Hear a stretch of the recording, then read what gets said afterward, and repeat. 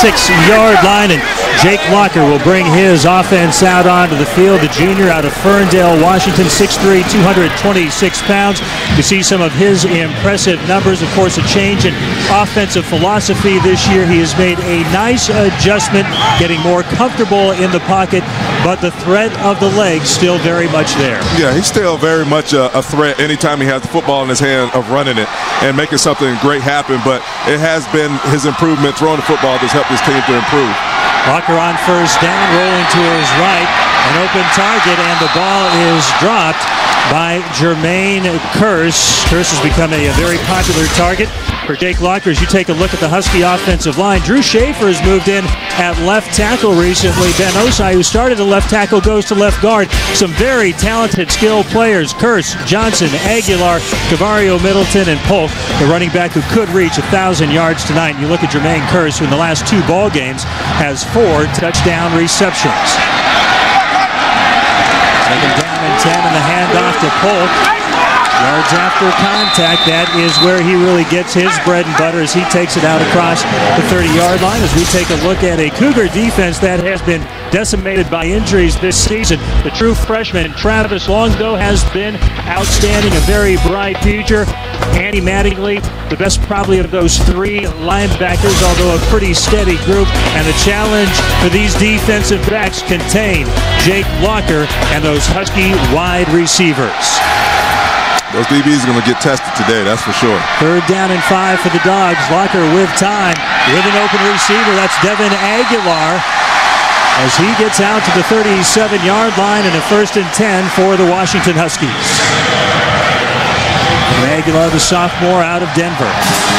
Yeah, here you see you just uh, Aguilar just running a nice little hitch route, man-to-man coverage, getting to the sticks, make sure he make, made the catch. And that's what you want to do here early on. You want to make the catch is everything. You're not necessarily worried about the run after the catch. You just make the catch, move the sticks, and keep the ball moving. First down, Polk, not much there. He takes it out across the 40 to the 41-yard line, and the uh, Mattingly in on the tackle for Washington State.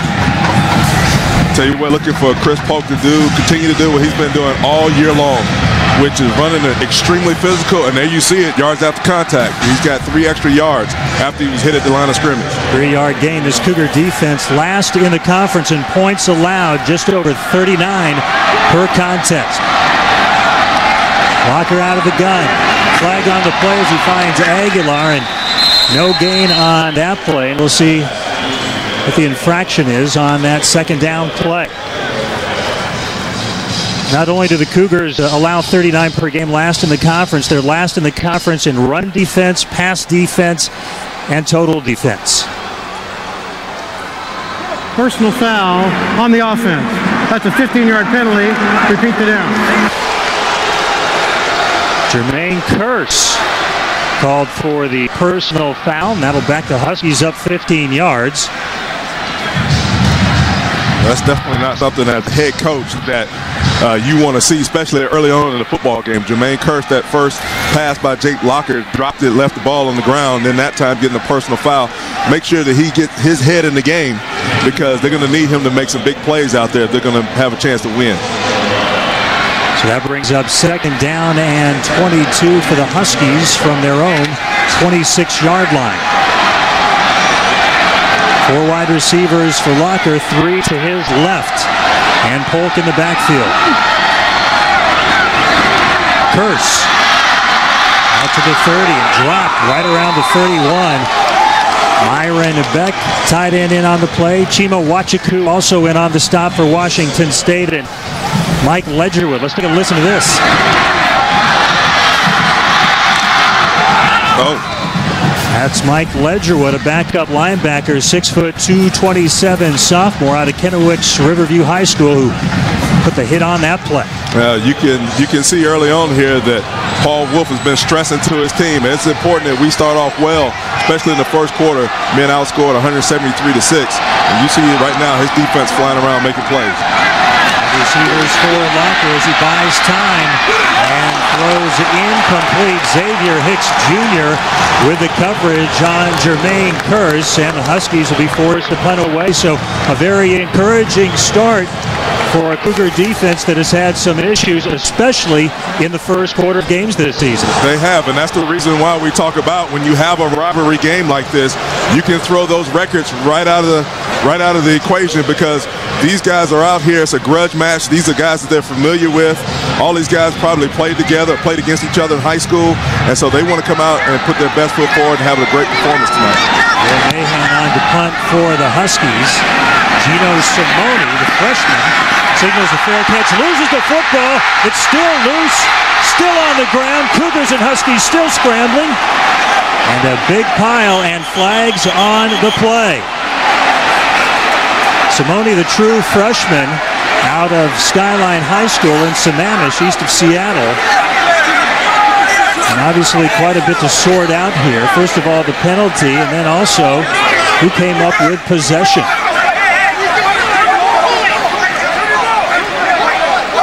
Washington State possession. And a huge break for the Cougars. That could have been disaster as Simone dropped that football.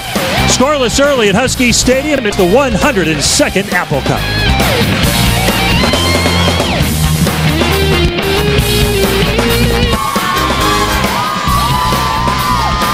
Avatar, a James Cameron movie event, showcases the Apple Cup on FSN.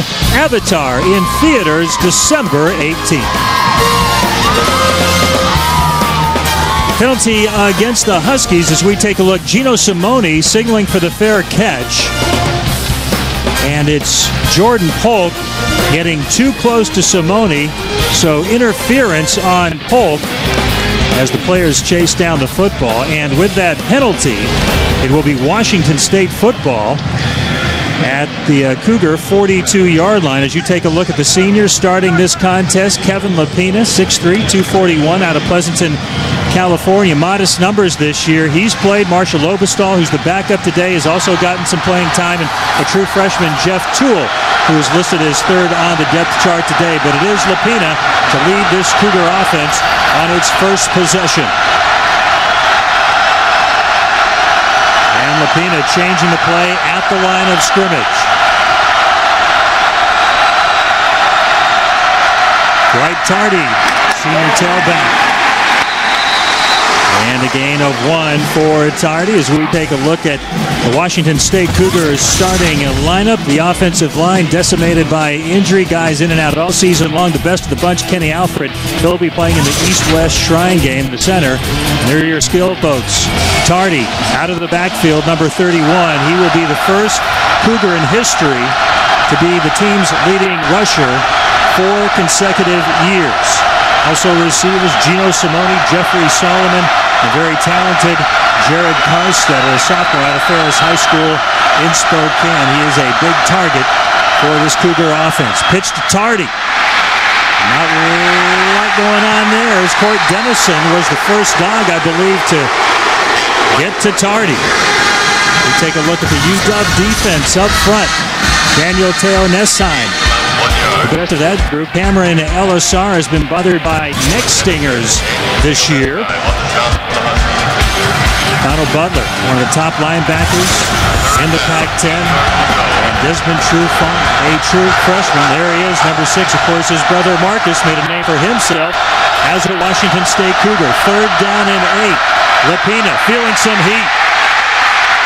Throws Karstetter with the reception and a first down at the Husky 45-yard line. And Mac, a nice job by Lopina to buy himself some time, feeling that heat off the backside. Yeah, Lopina did a great job of using his legs to sort of get out of the situation here. He was coming down on him. He had Daniel Te'o-Nesheim and uh, he just bought himself a few more minutes, a few more ticks on the clock, found the open receiver, and delivered the football. That was a great job by him. Jared Karstetter with his 35th reception this season with that catch. And Lopina getting the play from the sideline. First down and 10. And off to Tardy.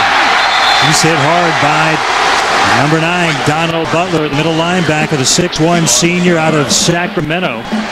Second in the Pac-10 in tackles with 84 this season, 11 and a half tackles for loss. Well, you see Butler makes it a, a great tackle right there in the hole because there was nobody backing him up.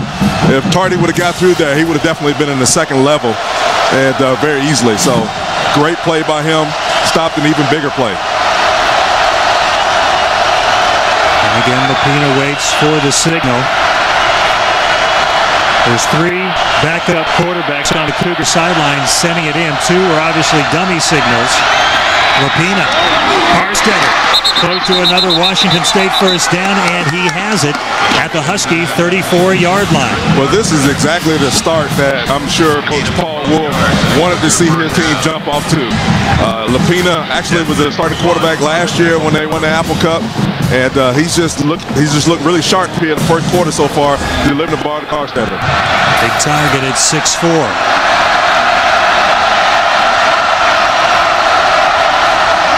Paul Wulff looking to go to 2 and 0 in this Apple Cup rivalry as a head coach. Trips left for Lopina. And a little trickery. Back to Lopina from Tardy. The deep throw by Lopina. An open Cougar, and it's incomplete off the hands of Gino Simone. Well executed play with the exception of the most important part right at the end. You got to catch the football, and you got to. I mean, this was just a great play. They got it set up perfectly. Tardy throws it back to Lopina. Lopina throws it to a wide open wide open receiver in the end zone, and you got to find a way to come up with that catch, Tom. I don't care what you got to do. If you got to dive for it, keep running. Don't misjudge the ball, whatever. It's plays like that that can get you beat. You end up wondering about it at the end of the game. Would have been huge for the Cougars in this contest. Second down and 10 at the Washington 34.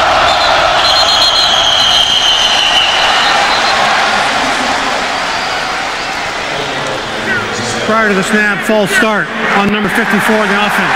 A five-yard penalty, first down. So a procedure call against the Cougars. Paul Wulff's team will back it up five yards. Yep, that was Zach Williams that time. I think got a little dumpy in there, holding it in there. The, the crowd noise could be a factor today for Washington State. You got an almost packed house here in Husky Stadium, and uh, they're doing everything they can to help their team get a win. Jason Stiles, our on-field analyst. Jason, an encouraging start so far for Washington State. Well, an encouraging start, but I think that last penalty is uh, illustrative of when teams are struggling, they end up shooting themselves in the foot when good things are happening. The Huskies did it in their first drive on a big penalty, and we'll have to see if the Cougars can recover from that. The swing pass to Tardy. Mason Foster has him wrapped up and forces him out of bounds at the 35-yard line. One of the things that the Cougars are going to have to do here today, guys, is establish the run. We've seen them get some early rhythm plays, some nice easy hits, some curl routes with that Husky defensive secondary playing off. But in order for this Cougar offense to maintain rhythm and find some identity, which is something that during the week they talked about, they have not found that identity. They're going to have to run the football. Now third and long, though, you be sure they're going to the air.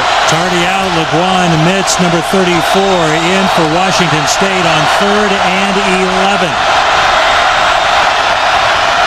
Play clock down to four.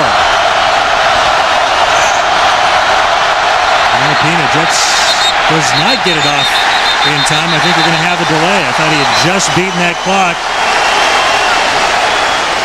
Prior to the snap, timeout, Washington State, number one. Timeout taken by Paul Wulff. I thought he was concerned, apparently, about where that play clock was headed, and maybe they were looking at another five-yard penalty. Cougars trying to keep the drive alive here in the first quarter.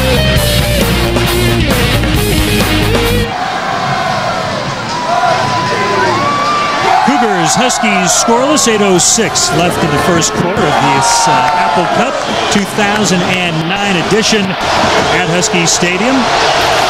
As Washington State looks at a third and 11 from the Husky 35-yard line. Dwight Tardy is returned to the Cougar lineup. And once again, flag on the field. The illegal procedure call. Full start. Number 78 on the offense. And this will go against the Cougars. And Mac, when you're a struggling football team, drop passes, penalties, timeouts you don't want to take early, that can add up. That can add up, and it can spell disaster for your football team, and especially one that's offensively has been struggling in the first quarter, being outscored 173 to six points. You're seeing now a little bit of why that stat is the way it is. You come out of a timeout, the last thing you should do is have a penalty and back yourself back up five more yards. From third and 11 to third and 16 for the Cougars.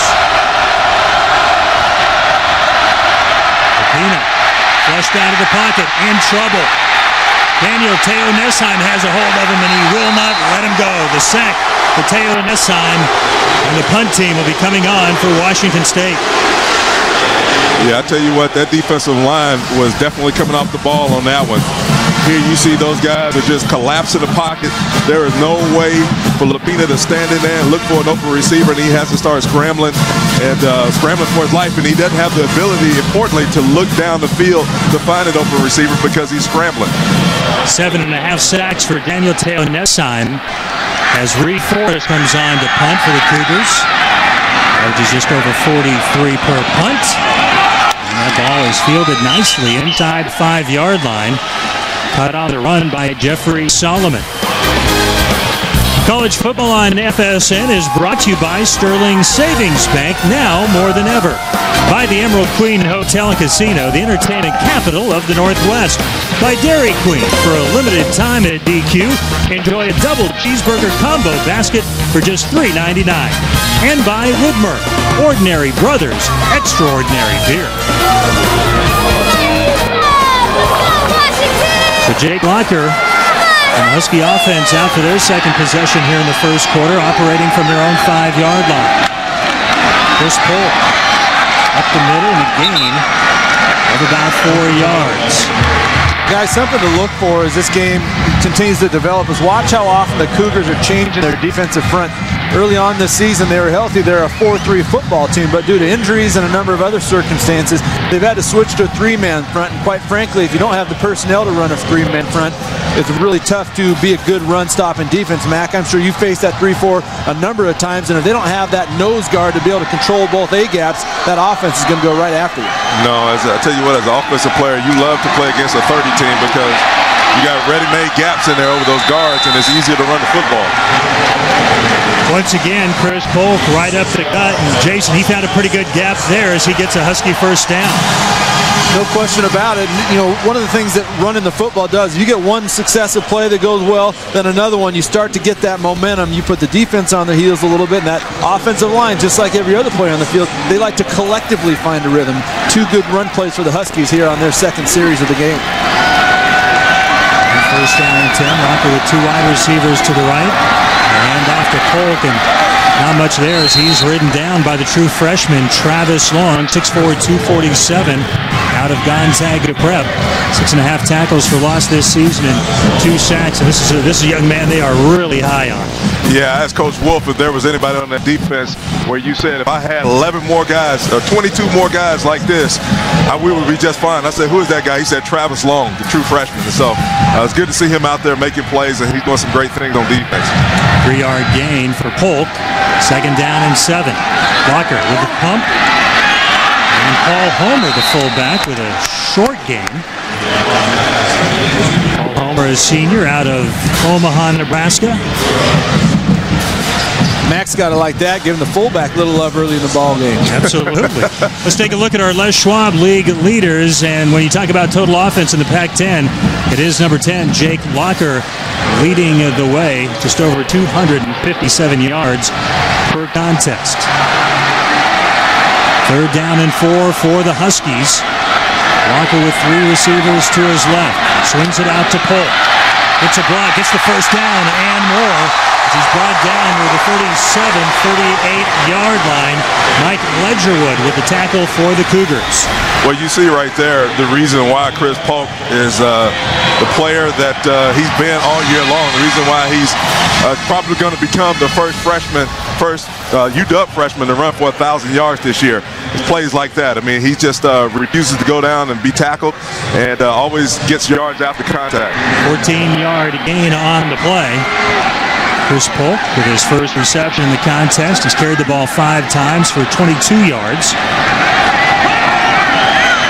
Locker with time. He'll go deep, far sideline, and overthrows the intended receiver, Jermaine Kearse.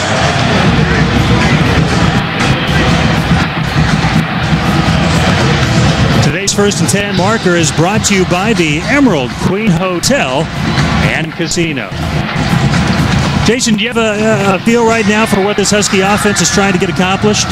Well, it looks like early on, obviously they want to get Chris Polk going, but they're loosening up that secondary. This is a secondary that has had a lot of injuries and had a lot of youth playing out there. So the Huskies trying to take a shot downfield with one of the strengths of their team, and they were not successful. Second down and 10. Polk trying to find some room, and not much there. Chima Nwachukwu coming up from his strong safety spot to make the initial contact on Polk was interesting to see uh, Washington State playing so well on the defense because one of the things Paul Wulff said about his defense this year, we asked him especially about those first quarters, he said, you know, we were asking him, what do you think is probably contributing to the reason why there's such a discrepancy in points? He said, well, maybe I think our, our defense may have lost a little bit of confidence in our offense, just a little bit, because of the, their inability to be able to score points. Take it backfield to Locker out of the shotgun with five wideouts. Quarterback draw, no, a throw. Kearse unable to hang on to the football, and it falls incomplete. But guys, here's a great example of what happens if you don't get something positive on first and second down. You see Jake Locker has the ability to scramble in a mid-yardage play. Maybe he's able to turn it up another notch to get that first down. But anytime you're third and long yardage, you're forced to put that ball downfield into a tight space, and very more often than not, it falls incomplete like that. Uh, Gino Simone with the drop for the Cougars. That was a drop that uh, Kearse, I'm sure, felt he should have had. Absolutely. Mahan with the punt. Simone signals for the fair catch and makes it at the 21-yard line. Washington State certainly encouraged by this first quarter performance against the Huskies. 3.50 left in the opening quarter.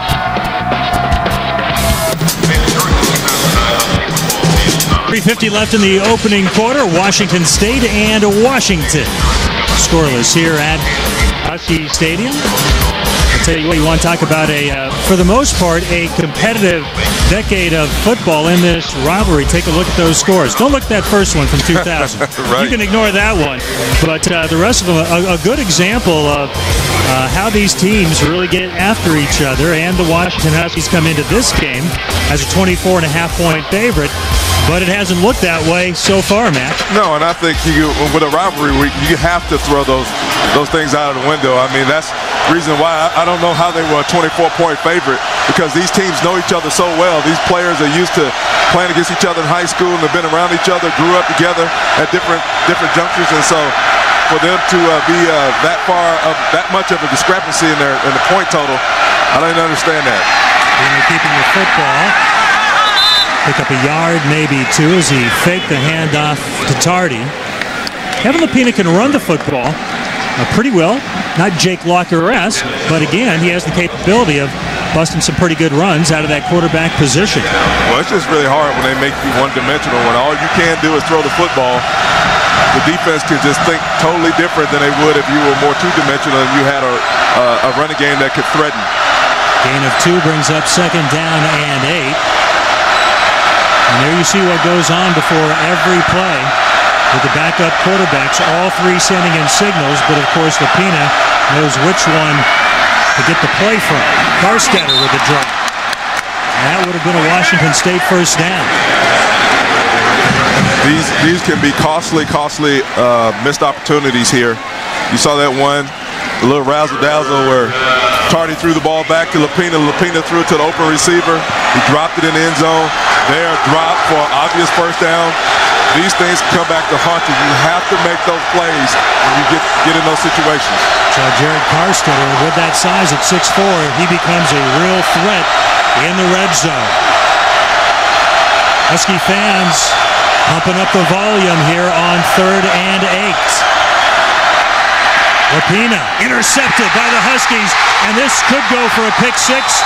Mason Foster brought down the inside, the 15 at the 13-yard line. Daniel Blackledge, the intended receiver, but a terrific job, Jason, by Mason Foster reading that play. Well, and pressure caused it. The right guard got beat, got in Lopina's face. He got rid of it a little bit sooner than he wanted to, and Mason Foster all over the top of it, and Lopina takes a huge hit at the end of that play, right in the back, and that's exactly what he's holding right now as he lays on the turf. So there's the hit. Lopina obviously shaken up. Marshall Lobbestael is listed as the backup if Lopina is unable to continue when the Cougars get the football back. That pass, by the way, was intended for Gino Simone. It was Blackledge who made the tackle, preventing Foster from getting into the end zone. And everybody, of course, remembers maybe the definitive play for this Husky team this year, and that was the ball off the foot of Arizona's Delashaun Dean that Mason Foster picked off and went for the distance in a uh, critical play here in a win over Arizona. As you look at Marshall Lobbestael beginning to warm up, 6'3", 214, redshirt sophomore out of Oak Harbor High School. Yeah, Mason Foster is making a name for himself as a big play uh, big, big playmaker on that defense. I mean, he's uh, he's gotten timely interceptions and fumble recoveries, and uh, really turned the tide for his team. So uh, it's good to see him out there uh, making plays once again. Hate to see that with uh, with Lopina. You never want to see a player laying out there on the field, and that's been one of the things, one of the Achilles' heels for Washington State this year, is that they've had a number of people, even quarterbacks, that have gone down with injuries. He's favoring maybe his right shoulder, right side. That's where he took the hit. And we hope the uh, senior has a chance to return to this football game. Locker on first down and 10. Into the end zone, overthrows the intended receiver, Chris Polk. Think he know he had him he had him open, but it was for a short period. I think the best thing Jake Locker did on that play was overthrow him because that, that might have been a pick going the other way. Boy, guys, and I'm standing right down here on the field. That just that's just a touch ball Jake's got to have. He didn't even give him a chance. I mean, the ball landed four yards out of bounds. You throw that even just a little bit inside, and let Curtis or Chris run to it. You've got yourself six. Second down and ten. The pitch to Polk. And the play strung out. Nice job that time defensively for uh, Washington State by Anthony Laurenzi, a 6'3", 290 redshirt freshman. You can see what uh, the major issue has been for this Cougar team in the first quarter. Complete domination by the opposition, 173 to 6. They've been outscored in first quarters this year, roughly 15 to nothing on average per game. That's very difficult to overcome. Your game plan, your desire to want to run the football usually goes out the door rather quickly. Third and 10 for the Huskies. Locker with time, with an open target at the six, and nothing more there for Paul Homer. Myron Beck with the tackle for the Cougars. Well, you see Paul Homer there. I mean, being a fullback, you got to make a little nifty move. He's going to have to make a guy miss in order to at least get the first down, let alone the touchdown. But this, this is something that Washington State early on in the year did really well. Early in the season, the team led the Pac-10 in red zone defense, and so you see them uh, being able to stiffen up and to keep the uh, Huskies out of the end zone this time. Erik Folk on for the 24-yard field goal attempt. And it is good. Folk now six for six on field goal tries this season between 20 and 29 yards as the Huskies strike first with 138 left here in the first quarter. FSN presents a Sunday College Hoops quadruple header, beginning with the championship game from the Great Alaska Shootout. Cougars involved in that. They'll be taking on San Diego, plus Nebraska battles USC, and the 11th ranked Tar Heels take on Nevada. The day rounds out from Seattle as 14th ranked Washington hosts the Montana Grizzlies. Coverage tips off tomorrow at 11:30 on FSN and FSN HD. So you can get your uh, hoops filled tomorrow. We got football for you here this evening from Seattle, the 102nd Apple Cup, the Washington Huskies with a three-point lead, 3 nothing as we are inside of two minutes left in this opening quarter. Paul Whipple's got to feel very good about that series, though, because after typically after you throw an interception down here in the other team's red zone, and to keep the team from, from getting seven, to hold them to three points, that was a great accomplishment for them. As I look down on the uh, Cougar bench, Kevin Lopina without his helmet sitting down. So it looks like Marshall Lobbestael will be on the field. Kickoff fielded around the 17 and brought out near the 30-yard line. And let's uh, connect with Jen Mueller and get uh, maybe the latest on Mr. Lopina. Jen? Well, he will sit at least one series after suffering a right shoulder stinger. The training staff says that it is coming around, but he's going to need at least a series to figure out if that strength will come back and allow him to play. For now, Marshall Lobbestael is in the game. The Cougs like his mobility and his ability th- to throw over the freshman Jeff Tuel. Guys. All right, Jim, first down and 10 for the Cougars at the 29-yard line. If you look at the numbers for Lobbestael, the sophomore out of Oak Harbor. And a timeout taken, the second in this opening quarter by the Cougars. So some confusion prior to a first down play. And you would think when you leave that sideline, you're going to have a pretty good idea of what you're going to run. Yeah, I think this is probably a little bit of confusion on Marshall Lobbestael's uh, side. You know, typically when you come, like you said, when you're coming off the uh, sideline, everybody should know exactly what play you're going to run. It should, everybody should, should already be communicated. This is the first play we're going to run. Probably a run, especially when you're changing quarterbacks right in the middle of a game. You probably don't want him sitting back there dropping back the pass. Give it to the running back. Let him make some, some, uh, let him get a blade of grass or whatever, and uh, and then go from there. But to have to call it, burn another timeout here in the second quarter, uh, in the first quarter rather, uh, that that could be detrimental. Yeah, guys, and I'm right down on here the Cougar sideline. It was a personnel group issue. They didn't have the guy in that they needed, that extra tight end for the play that they had called. And Lobbestael again looking over to the Cougar sideline. As he apparently calls the audible and changes the play. Hand off to Mitz. Logwone Mitz stacked up for no gain. Donald Butler, the first Husky on the scene. And a lot of what the Cougars are doing is they're lining up in a specific personnel grouping as, you, as the second tight end now comes off the field. And then based upon what the Husky defense is doing, they're making adjustments on the field. Sometimes they're sticking with it. Sometimes they're changing the play based upon that defensive alignment. Second down and nine. Jeff Tuel, number 10, is the true freshman who, barring injury, would have been starting today, but still an issue with stability in the kneecap. Mitz with a reception out of the backfield. With a nice pickup near a first down. Maybe have brought him down, uh, brought down just short at the 38 and needed to get out to the 39-yard line. Logwone, Mitz is a big man.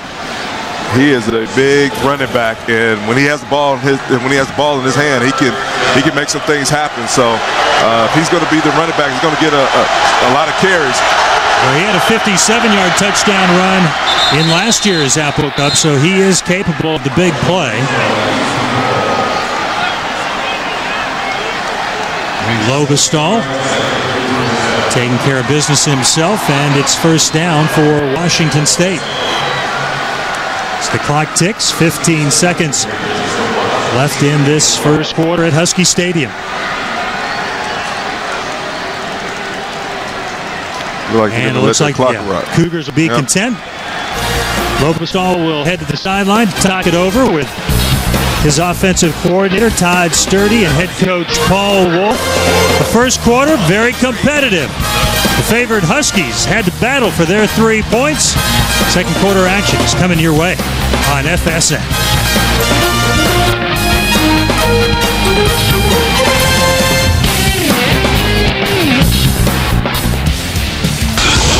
Welcome back to Husky Stadium in Seattle, the 102nd Apple Cup as we get ready for the second quarter. Husky lead of three to nothing over the Cougars. And uh, Matt, considering how first quarters have gone this season for Washington State, even though they're trailing, that may have been their best first quarter of the uh, season. No question. I mean, they're only down by three points, and they could have been down by seven. and yet uh, they're on the road. They're in a hostile environment. They don't have a lot of fans here necessarily, and so for these guys to still be in it at this point is great. And Jason, that can only give the Cougars confidence, even though they came in as heavy underdogs. The longer you let these guys hang around, the more they're going to believe. I agree. I think first quarter has missed opportunities on both sides uh, with the trick play for the Cougars and the missed touchdown pass by Jake Locker. Lobbestael deep. The ball batted away by Nate Williams, the intended receiver for the Cougars on that play. Let's take another look at it. It was Jeffrey Solomon.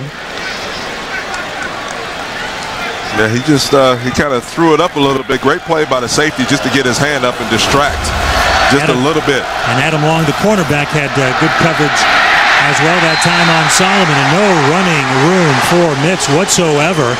Teo Nessheim leading the Husky tacklers on that play. You know, you can make an argument for not really beating your head up against a brick wall. If something's not there, they've struggled all year long running the football.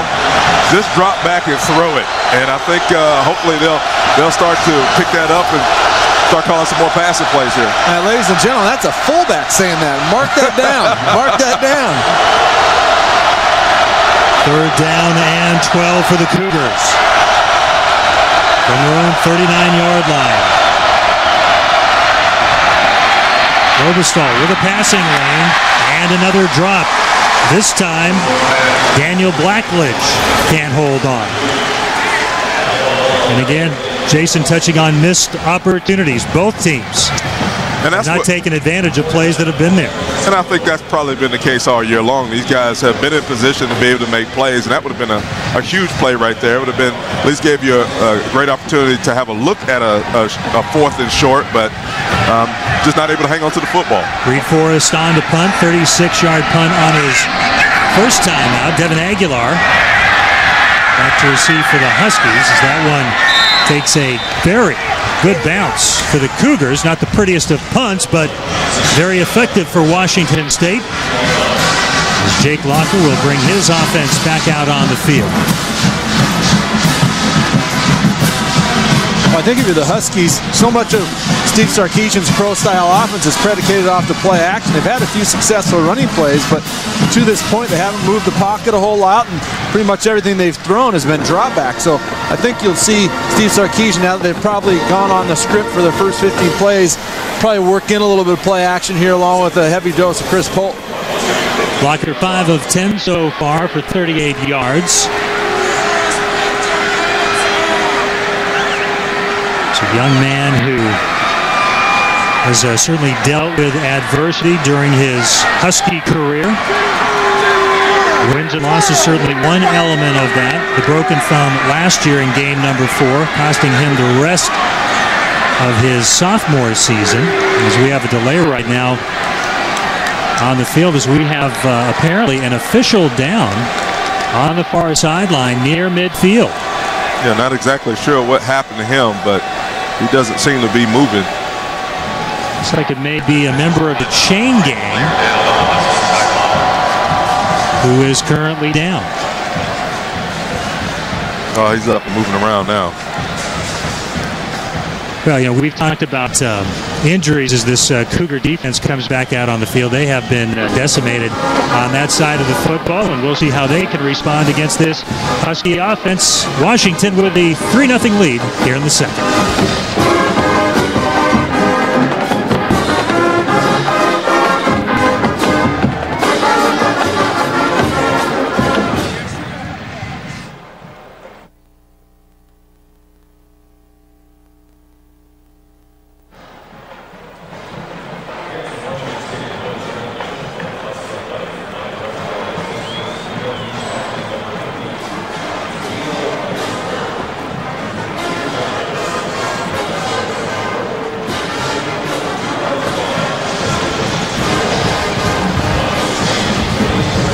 Are still in a delay situation here at uh, Husky Stadium due to an injury suffered, we believe, by one of the members of the chain gang on the far sideline, the Husky sideline. As you take a look at members of the Husky offense getting ready to head back uh, out on the field. They will have the football first and 10 at the 15-yard line following a Cougar punt. You know, sometimes those guys on the sideline, boy, they need to be uh, paid hazard pay because they're holding those chains over there, especially when there's uh, a special teams play like a punt or a punt return, anything like that. Those guys get pushed out of bounds and they're running. They're trying to cover the, the football as hard and as fast as they can, and sometimes you don't get out of the way in time, and those guys get run over all the time, and that's, that's pretty common. So hopefully he'll be all right, and uh, he'll get up on his feet, get moving around. So we now see a stretcher being brought out to the uh, area where the individual is being cared for.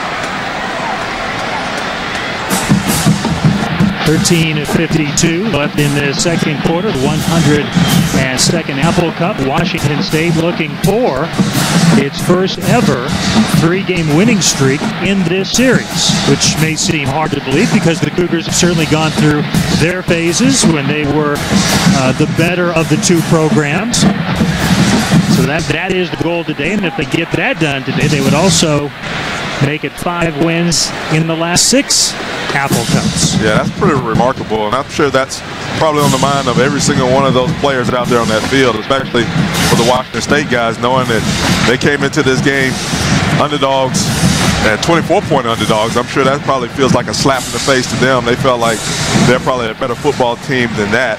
And uh, but they're they're right in this football game. It's still anybody's game. It's early, and uh, they've had some opportunities. They hadn't necessarily capitalized on them, but hopefully they can make some plays later on in the game that can influence the outcome.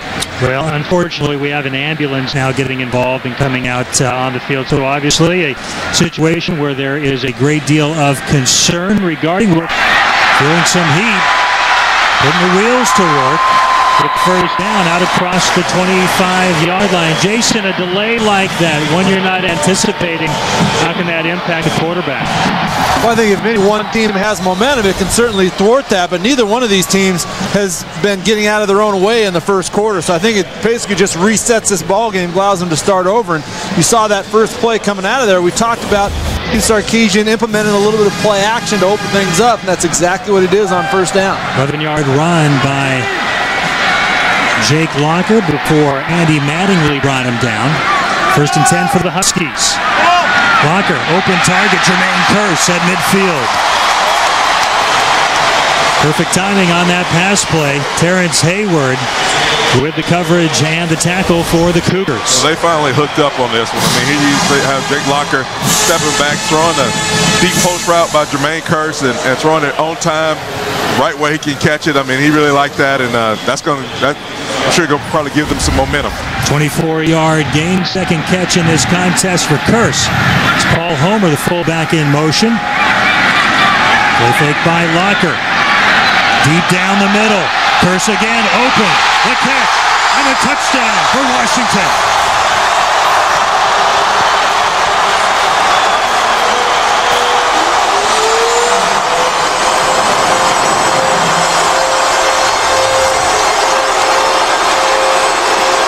Make it five touchdowns over a three-game span for Jermaine Kearse, who's become Jake Locker's favorite target. I'll tell you what, Jake Locker throws this ball absolutely perfect. Jermaine Kearse stretching out to get it for a touchdown. I mean, they've been trying to hook up all the first quarter, and even the first play of the game, Jermaine Kearse dropped it, but he makes up for it on a beautiful catch right there. 50-yard scoring play. Erik Folk with a point after touchdown. Has not missed one this season. And the Huskies get a little bit of breathing room with 12.41 left in this opening half at Husky Stadium. Play fake by Locker. Just a nice comfort level in the pocket, Mac. That is. And I tell you what also helped to set that play up is at least the Huskies have somewhat of a, of a running attack. And so when you give that little fake to Polk right there, all that creates is just a little bit of indecision by the defense, and the play can be successful. Well, let's not forget, guys, the Cougars have been really hampered by injury in that secondary, so they've got some guys running around back there that uh, some of them are really aggressive against the run and others are inexperienced. And when you have a play action, and they're going downfield against, and neither one of those are very good combinations. Credit a very experienced combination of Jake Locker and Jermaine Kearse for hooking up now two times in a row for that big score. And that was Terrence Hayward. Hayward beating on that play. He's a redshirt freshman out of Carson, California. But to magnify your point before the Oregon State game, just over a week ago, they had to take a wide receiver and convert him to one of the safety spots two days before that game. And we turned out near the 30-yard line. James Tardy. And Washington State will have the ball first down and 10. This is a big point of emphasis for the Cougars all season long. Sometimes they've done well with it, sometimes not so well. Their ability to respond to adverse situations. They're on the road. It's the Apple Cup. The Huskies just go downtown for the scores. You see Jake Locker unleash one downtown. Now can the Cougar offense respond in a hostile environment and stay on the field for more than three plays? As we took a look at our Polaris hardest working player of the game, special stuff from Jake Locker that man, Jermaine Kearse. Marshall Lobbestael continues a quarterback for the Cougars, first down and 10, and he overthrows his intended receiver, Daniel Blackledge. Mason Foster coming with some pressure that Husky defense. Well, that's always hard for a quarterback to be able to throw the football when you've got somebody right in your face. And those uh, out routes are, are, timing routes. They have to be thrown in rhythm and on step, and uh, just couldn't quite step into it on that one.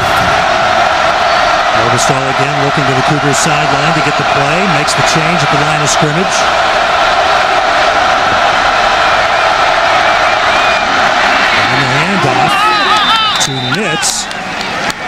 It's out to the 35-yard line.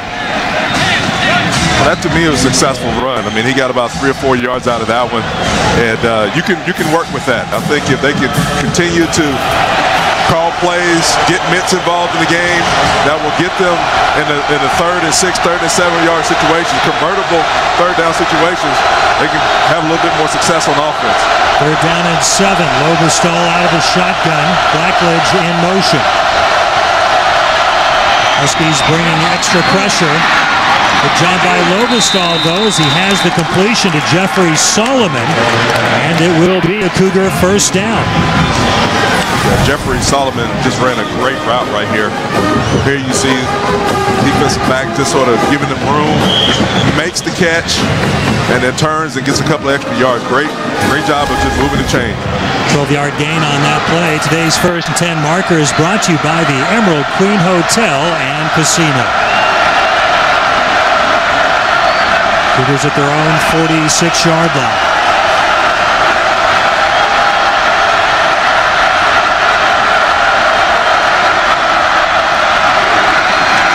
Handoff. And a loss on the play. It was James Tardy, the ball carrier. It was. Exchanging some uh, pleasantries with Donald Butler. Got to have that in a rivalry game. Oh yeah, Par for the course. I mean, it wouldn't be a rivalry game if you didn't jaw a little bit. I mean, you got to sell some wolf tickets out there. Loss of two, second down and 12. Lobbestael pointing out something to the sideline. Play clock at 10 seconds.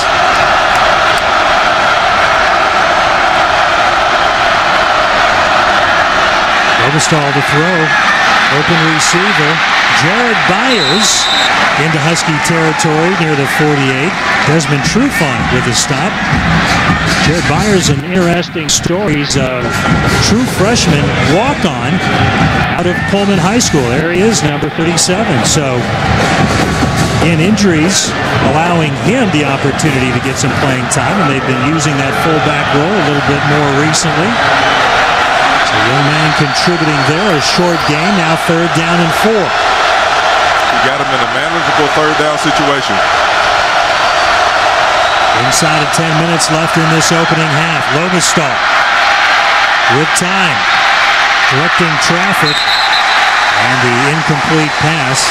And Karstetter in the neighborhood. Looked like Blackledge was over there as well. But the Cougars unable to get it done on third down, and that has been a problem for this offense. Just 23% conversion rate on third down this season.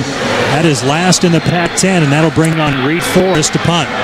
Well, I bet if you looked at to what their third down and distance was with average to the Pac-10, they're probably one of the worst teams there too. You go third and long more often than not because you can't get a run game going. You're putting your quarterback at a huge disadvantage. Forrest feeling some heat. Is another very good bounce for Reid Forrest on the punt once again. Not exactly ideal field position for Jake Locker. Didn't matter last time. He took care of 50 yards on one play to Jermaine Kearse for six. College football on FSN is brought to you by MoneyTree. MoneyTree now offers online loans. Apply at moneytreeinc.com. That's moneytreeinc.com. By Papa Murphy's, handmade fresh, home baked great. That's Papa Murphy's. By Tulalip Casino, the number one place to stay and play. And by Banner Bank. Better ideas, better banking. First down and 10 for the Huskies with a 10 0 lead as they operate from their own seven yard line. Chris Polk up the middle and a nice first down again on the ground for the redshirt freshman. Time now for our fan polls question. What do you think the most likely outcome of today's game is? You can text A, Huskies dominate and win easily. B, Huskies win close, hard fought game. Or C, the Cougars win. Text A, B, or C to 95323. We'll keep you up to date on the voting. In fact, here are the latest numbers. Looks like the uh, Cougar fans have their texting going strong on this Saturday night is once again Polk with the carry out near a Husky first down. Here's Polk with an opportunity tonight to not only to set a freshman rushing record, but to also become the first freshman to reach 1,000 yards in a season as a Husky. Yeah, and I think Washington State is uh, definitely trying their best to keep him from accomplishing that tonight. They uh, every time he has the ball in his hand, he's getting hit at the line of scrimmage or just a few yards down the field. And he's known for breaking tackles, and he hasn't broke, broken a lot of tackles so far today. Third down and one. And again, the extra effort after that initial contact should give Polk and the Huskies the first down. Travis Long in on the stop for the Cougars. And it is a Husky first down at the Washington 18-yard line. Talked about Chris Polk coming into this game. 889 yards, averaging five yards per carry, three touchdowns. A long run this year of 41 yards. And he's being put to work here in the second quarter. Good defense that time by the Cougars. Nice job that time by Mike Ledgerwood as he shot the gap and got to Polk. Mike Ledgerwood has made a couple plays on Polk today. He's definitely in tune to what's going on. The game plan plans obviously to stop this young freshman from doing a lot of damage on the ground.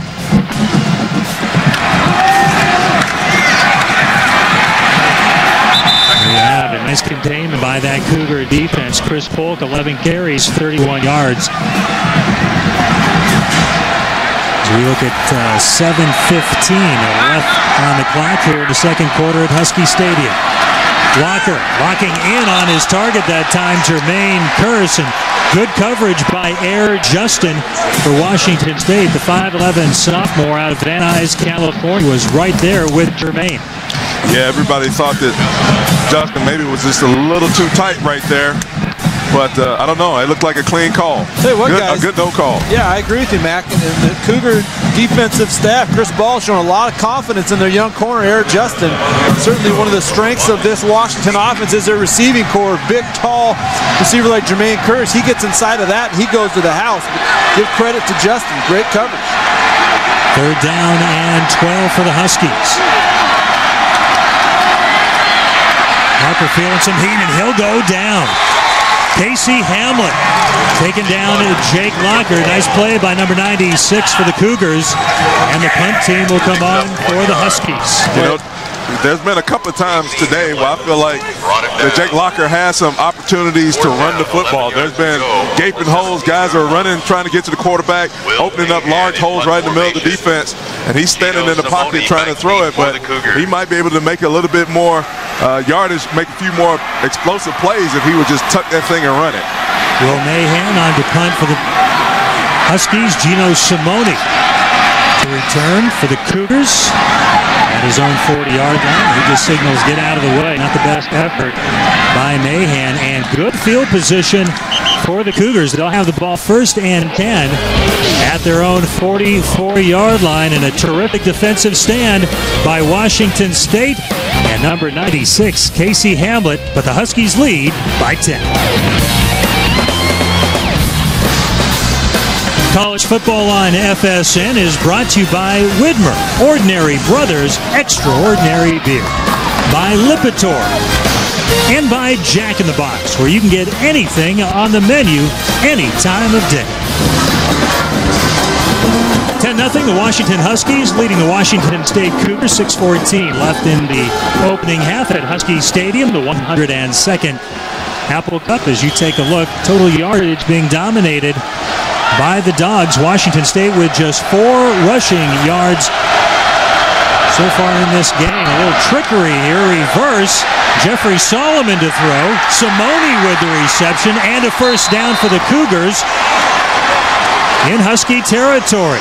So the second trick play we've seen, guys, out of this Washington State offense. And we saw Jeffrey Solomon throw the football in game one of the season when the Cougars were at home against Stanford, and he completed that pass. Well, here you saw a well-executed trick play right here. I mean, here you see Solomon coming around and finding a wide open receiver right there in the hole. That was great. They've had two well-executed plays. The first one just wasn't uh, wasn't a reception. Lobbestael feeling some pressure from Cort Dennison and loaded the football incomplete after that 17-yard gain on the trick play. Jeffrey Solomon, by the way, was a uh, high school quarterback at Ingram High School. Transferred to Washington State after his time at Eastern Washington. Well, and that play, guys, a great example of what a lack of a running game will do. A play action fake that Cort Dennison didn't even take a second look at. He went right at the quarterback and made Lobbestael get rid of that ball well before he wanted to. Play clock at 10. Second down and 10 for the Cougars. Foster putting some pressure on, nearly picked off, and the ball hitting the turf. Nearly coming up with that interception for the Huskies, Darian Jones. What? I'm sorry. Well, you see the tail end, of it, tail end of it right there with Jones just missing getting a pick. But you know what? It's really making Washington State is really making uh, an, an argument for Marshall Lobbestael having to look over to the sideline every time to get a play. Because what that does is that takes away his ability to be able to read the coverage, look at the defense, and go through that thought process of his progression as far as who's going to throw the ball to. Third down and 10. Lobbestael. And the play blown dead as we have a flag. Prior to the snap, false start on the offense, number 78. Five-yard penalty, third down. Jack Folliard, our referee. So for the Cougars, it goes from third and long to third and longer. 15 yards needed now for the first down.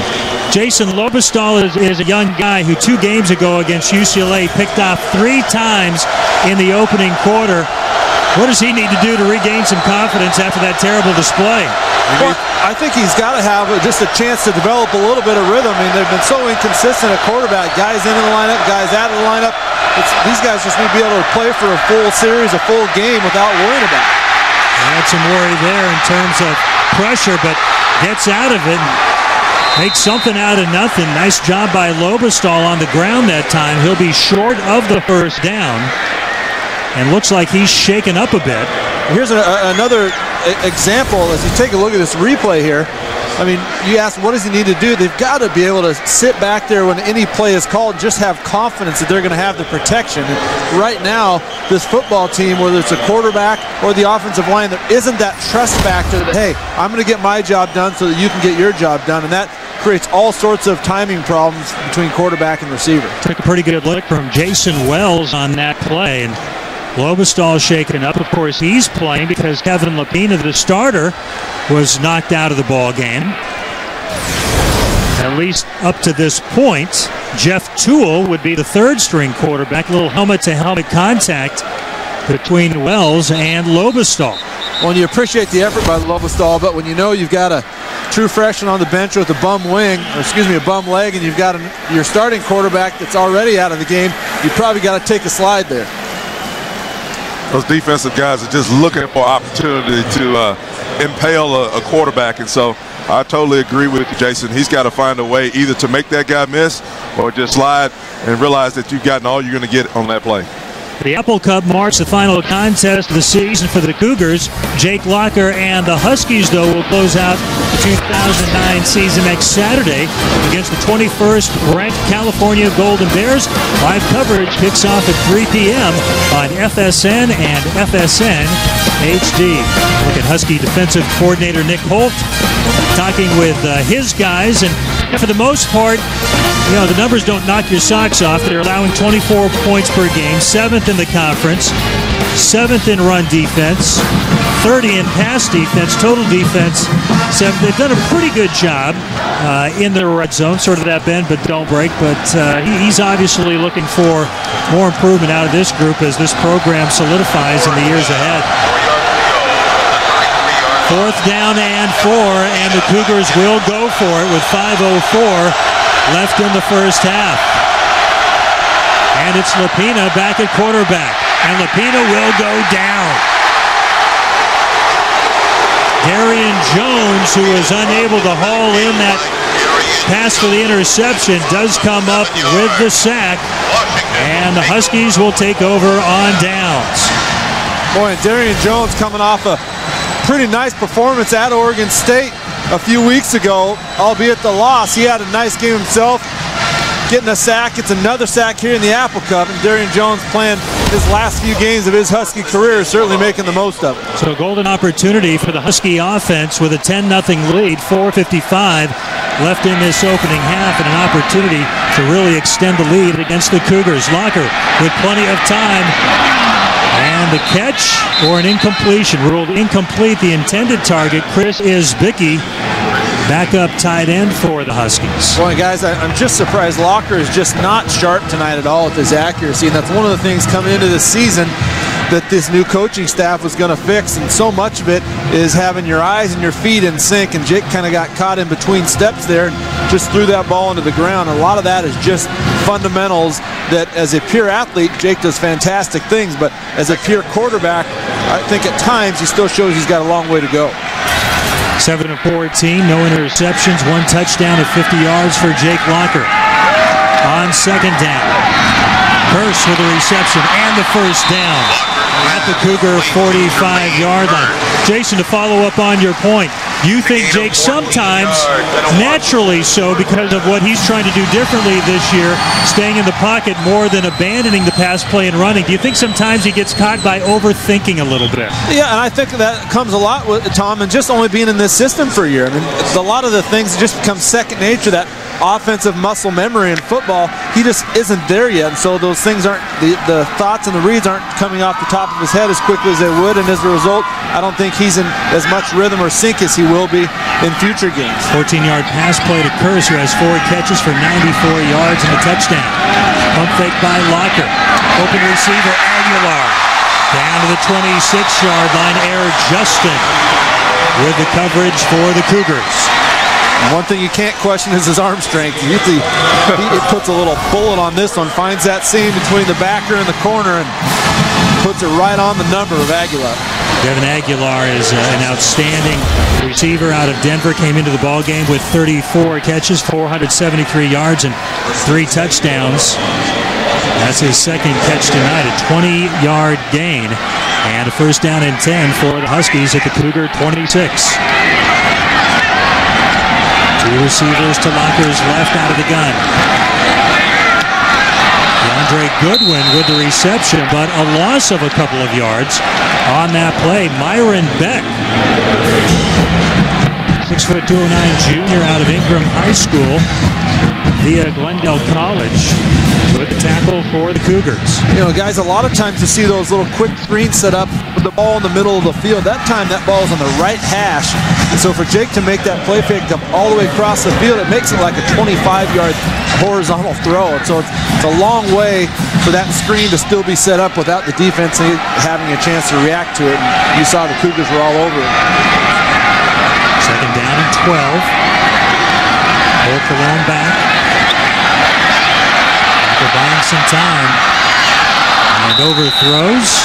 Kavario Middleton. I don't think he really had any intent of trying to connect with Kavario. He was thinking more, let's just get rid of this play, not lose any yardage and try again on third down and 12. Well, he's just like any other quarterback that, you know, in college football or in the pros for that matter. You know, they have certain throws that they like more than others. Uh, Jake has been doing excellent as far as just strictly drop back passes. When he's on the move and he's on the run, he's using his legs to get outside the pocket, throwing on the run. He's not as accurate. So that's definitely something he's going to have to work on. But he's uh, he's got that drop back pass thing going tonight. Third down and 12. And incomplete. Chima Nwachukwu with the coverage on that play for Washington State. James Johnson was the intended receiver for the Huskies. And it'll be Eric Fulton to attempt a field goal of 46 yards. His long this season, 48. And he's connected three of five between 40 and 49 yards. From 46. It's good. Erik Folk, the sophomore out of Woodland Hills, California, pushes the Husky lead out to 13 to nothing.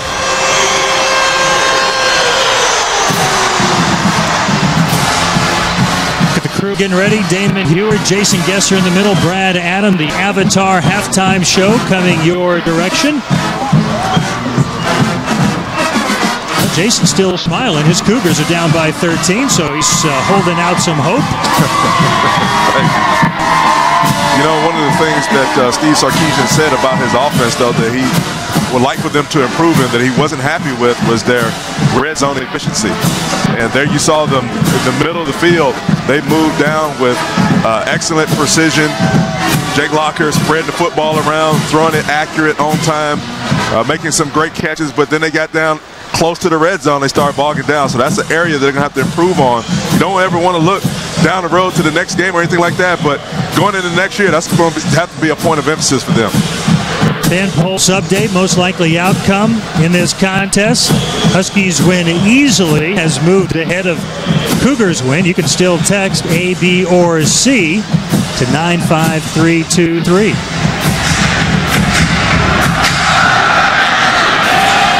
with the kickoff. Taken by Carl Winston. He's going nowhere. Stacked up. Shy of the 20-yard line. Carl Winston, freshman out of Harbor City, California. Backup running back, also involved on that kickoff return team. We talked about the youth on both of these teams. Carl Winston, one of 13 freshmen the Cougars have rolled out there this year. And as frustrated as Washington State fans may have been over the course of this season with the lack of results, when you throw that many kids out there, you're bound to have some issues. The exciting part is you talk with anybody on that Washington State staff, and albeit they're not getting the short-term results, they're as excited as heck about the long-term possibilities of these young kids they've got in the program. Lapine a little swing pass to Mitz, and he can't hold on. Of course, the Huskies will tell you, hey, we got we have 10 true freshmen we played this year too. Well, that's the. Know, uh, so there's, there's a lot of youth on both these teams. Yeah, it's been a. So uh, the, in other words, the future looks bright for both of these teams. I mean, you look at them. Even Paul Wulff said that the program looks good. Now you you say you're one in ten. What do you mean the program looks good? But it looks good for the future. They're playing all these guys that get experience, and they're going to be able to draw back on this year, next year, and bring in next year a lot of the guys who were hurt this year and had their seasons cut short. Lopina with the pitch. Nothing there for He's gang tackled. First Husky there was Darian Jones, number 59, who's having a really strong second quarter of action. Yeah, he's making some great plays. It's really hard for me to imagine you're going to be successful running uh, a kind of option like that into the short side of the field. Well, that you've got to believe. I mean, the option means you're either going to run or you're going to pitch it. You've got to believe there's an option to run it. And with Lopina getting hit as much as he had in the first half, nobody's going to believe that. And guys, this is an important third down coming up for Washington State. Washington with two timeouts. I believe they just used one to stop the clock there. If they can prevent the Cougars from getting the third down, they're going to get the football back in pretty good field position, and they can add to this 13 0 lead. So we'll see how aggressive Paul Wulff wants his offense to be. Well, herein lies, down. Sorry, Tom. Herein lies the problem. Is this Cougar offensive line is so maligned? You know the Huskies going to bring the heat, and this is where that trust between the quarterback and the O line is broken down all year long. They don't believe they're going to have time to get the ball off, and oftentimes instead of looking downfield, their eye is on the rush, and that that is a bad recipe when you got third and long. Two wide receivers to each side for that man, number nine, Kevin Lopina, the Cougars, and the Huskies, three of eight so far with their third down conversions. Third and nine. Lopina flushed out of the pocket. Sliding for the first down at the 30-yard line. We talked about earlier his ability, not that he's Jake Locker, but he can he can do a nice job when presented the opportunity to run the football. And uh, he learned from Marshall Lobbestael, too. don't Slide. run, don't run into a headache. Slide. Well, let's not forget Lopina's 240 too, so he's not a guy that anybody wants to necessarily get in front of. They don't have to. First down and 10. Te'o-Nesheim putting some pressure on. Nearly picked off by Mason Foster is Cameron Elisara put another herd on Lopina, and Kevin may be forced to leave this game for a second time. He was hit and hit hard. I think he uh, he may have a. It looked like he may have a concussion. It looked like the back of his head hit the ground. Well, and he was reaching for that lower back like he did that first time. I know it was reported he had that neck stinger, but watch him just get dropped right on him. That is a perfect form tackle by Cameron Elisara. And I've been in a few of those situations as a quarterback, and when the defender has your arms wrapped up and you can't move them to brace your fall, it is not a comfortable feeling. And unfortunately, sometimes it ends the way it did for Kevin Lopina, injured on the turf. Let's connect with Brad Adam, who is uh, with a couple of guys, know a little something Chance about the be a quarterback hero. position. Brad? That's right, Tom. They also know something about being on the bottom of the pile like Lopina just was. So Lobbestael out, Lopina out. Who's quarterbacking now for the Cougs? You know, you see Daniel Wagner over there taking some reps. He came in last year as a true walk-on freshman in a couple games sparingly, uh, but he has some experience. He knows just enough of the offense. He's also a backup punter. Um, he's a walk-on guy that, that played really well and did really well in Jesuit. Do you know at this point if there's any Cougar uh, students in the stands who might be able to throw a football? I might be is- able I to think warm it Gesser. up. I can, I can warm it Yeah, and your see. eligibility's all gone, my friend. But seriously, are there anybody in the stands or what? Um, I don't know. That's a, that's a great question, you know. Let me ask you, Damon, on UW side, the defense, Yeah. does it come after this walk-on with everything it's got these next couple of plays? Absolutely. You know, that's why it's so important to save your timeouts. The Cougars blew their timeouts early there in the first quarter, couldn't figure out the play, couldn't get things squared away. We have our timeouts here at the end of the half, have an opportunity to stuff them and hopefully get another score before halftime. It looked like somewhat of a promising drive for the Cougs. They might have gone down to kick maybe a field goal or something, get in with some positive momentum in the halftime. Can they still get it done with this guy quarterback? No, right now, I mean, after you got that first down run by, by Lopina, you, you go and you run the football and, and you get out. You know, you, you get out of the half. You, your defense is playing great right now. They're stopping them on, on numerous occasions. Get out, get your guys safe, go into halftime, reevaluate everything, and get out of the half. Because you go and you run the football here, they're not going to take more timeouts. They're, they're just not. So, You see Lopina there getting getting up very gingerly, getting helped off the field. It's, it's hard kind of to say. Looks like a, a knee or an ankle or some type of a leg injury for Lopina. Second time he's been knocked out of this game, and he certainly hates to go out, the senior, hates to go out like this with an injury. anytime, trust me, anytime you uh, get hurt your senior year and you gotta leave the game, it, sucks. It's not it's not something fun you, you look forward to or anything like that. It's just part of the football game and part of the situation of you know life. So, Damon, how about if you're the walk-on, third string going into today's game, not expecting to play. Now, here you are. You might have to play the entire second half. Well, I know he's a little nervous, but what a thrill for this guy. What a thrill and what an opportunity to make a name for himself, to make history on the biggest stage in Washington, the Apple Cup. So here he has this opportunity. It's still a tight game. You know, it's uh, it's close enough to where he's going to have a chance. But boy, this Husky defense looks good today, and I think he's going to struggle. Look good in the home white pants for the first time under two minutes to play. We'll be back here with the Avatar halftime show right here outside the stadium. Let's go back inside to Tom and Matt.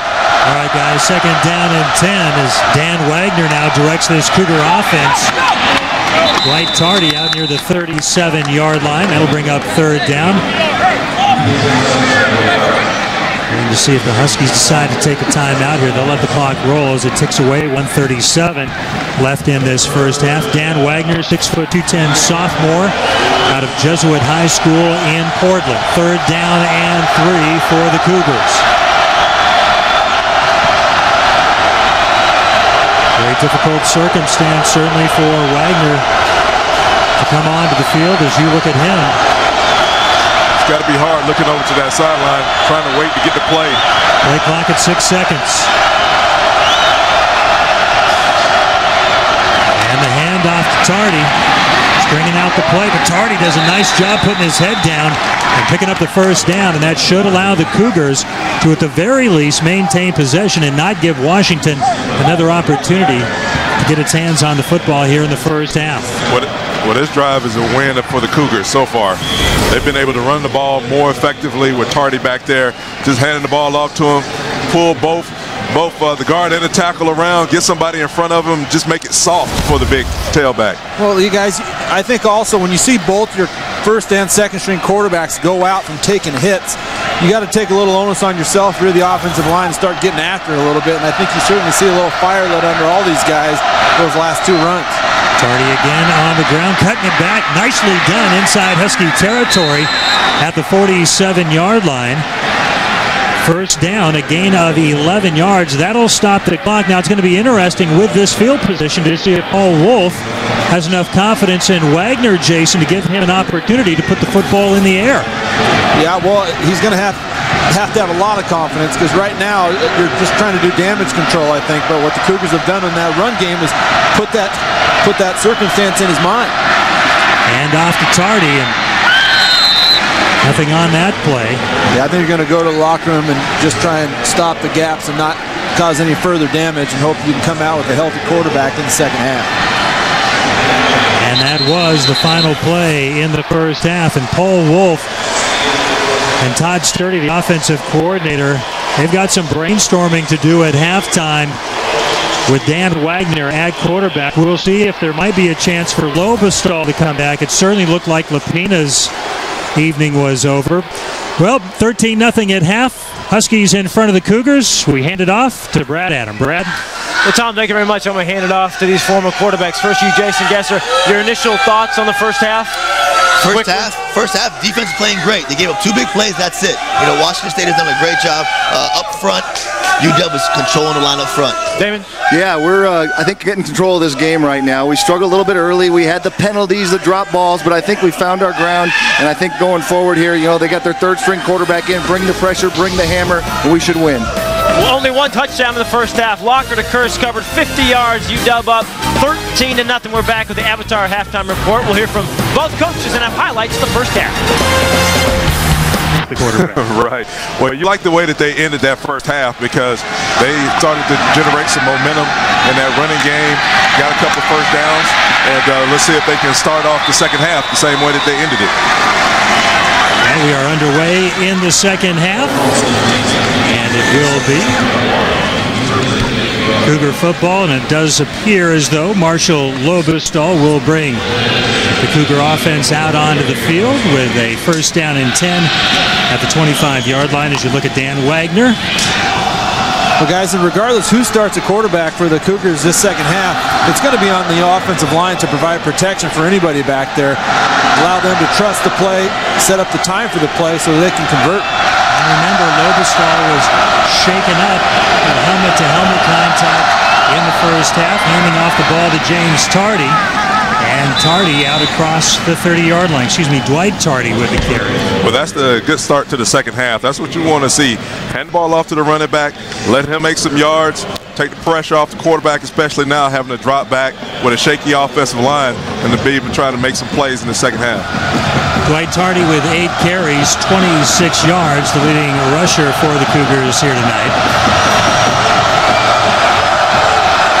And again, if you're just joining us and you're wondering what is going on offensively with Lobbestael looking to the sideline, this, this is how the Cougars do it. He'll look over to the sideline, get the play, and the execution, another handoff to Dwight Tardy.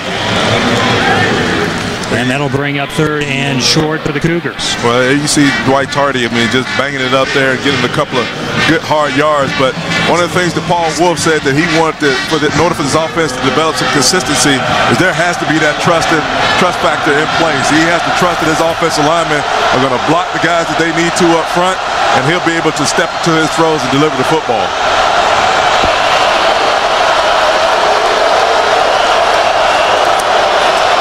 You see the backup quarterbacks along with offensive coordinator Todd Sturdy grouped together on the sideline on third down and three. Lobbestael nearly picked off Adam Long with terrific coverage and that throw to the sideline. I referred earlier to Lobbestael's nightmarish performance a couple of weeks ago against UCLA. It was the throws to the sideline that those corners were able to break on and come up with interceptions, and the Cougars dodging a bullet right there. We see Todd Sturdy talking to Lobbestael on the sideline. That out route right there is so much based on timing. Lobbestael started on the opposite side of the field. By the time he came back, the receiver was well out of his break already, and that gave Long a chance to break on the route and be in position for an interception. Kevin Aguilar fielding the punt from Reid Forrest. Good punt for the Cougars as Huskies will take over after a modest return by number nine. Jake Locker heads out for his first possession here in the second half. Jake 10 of 19 in the first half, 144 yards and a touchdown. That's a 50-yard connection to Jermaine Kearse. So the Huskies will have it first down and 10 at their own 25-yard line, looking to really put a hurt on this Cougar football team if they can add to a 13-0 lead. Two wide receivers to the right for Locker. Polk with room and out near a first down at the 35-yard line.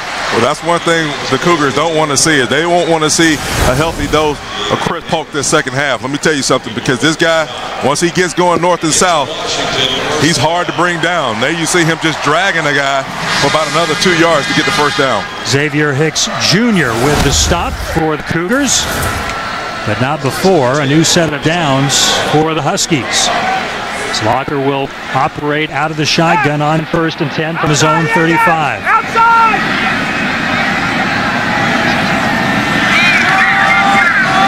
Over the middle, Kavario Middleton with the reception. Mike Ledgerwood with the tackle. Kavario Middleton with his first catch in the game. And of course, on Monday, he made a little bit of news regarding the Apple Cup. He was asked by a local reporter what he thought of the point spread of about 24 and a half points. And he said, I don't know much about that. Our plan, though, is to score 50. so that, that added a little fuel to the fire. And the Huskies certainly have a ways to go to get to that 50 point plan that he was talking about. Locker with room.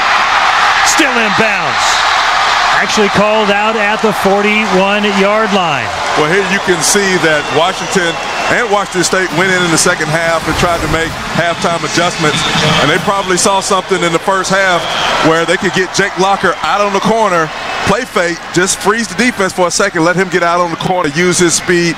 Great first down right there. If he had to step out of bounds, it'd have been interesting to see if he would have been able to take it the distance. Number 43, Alex Hoffman Ellis, just getting enough contact on Locker to get him maybe out of bounds by about a half inch, but it was a huge half inch. The Huskies now operate first down and 10 at the Cougar 41. Three carries for Jake Locker, 28 yards. That one a 16-yard run. Pitch by Polk out of the backfield. Gain of two on first down. Guys, on that previous run by Jake Locker down the sideline, we talked about all the great things the defensive end Travis Long has done for the Cougars in his true freshman year. That time, they picked on him a little bit and did a little zone read. He's just reading Long. If he crashes down, he keeps it. If he stays a locker, he doesn't. Long crash down and turn into a big play for the Dogs. Today's first and 10 marker is brought to you by the Emerald Queen Hotel and Casino. Second down and eight. With two receivers to his right. Aguilar and Kearse. The handoff to Polk. And nothing there. Defensive penetration by that Cougar defense. You look at Andy Mattingly, number 45 right there. Also Hoffman Ellis. Ledgerwood has had a, very productive night. Eight tackles in the first half for backup linebacker out of Kennewick, number 44. Well, they dropped the safety down in the box to help support with the running game against the run. So if, if Washington can see that and they can make an adjustment at the line of scrimmage, they could probably hit it for a big pass having a single safety in the middle. Third down and seven.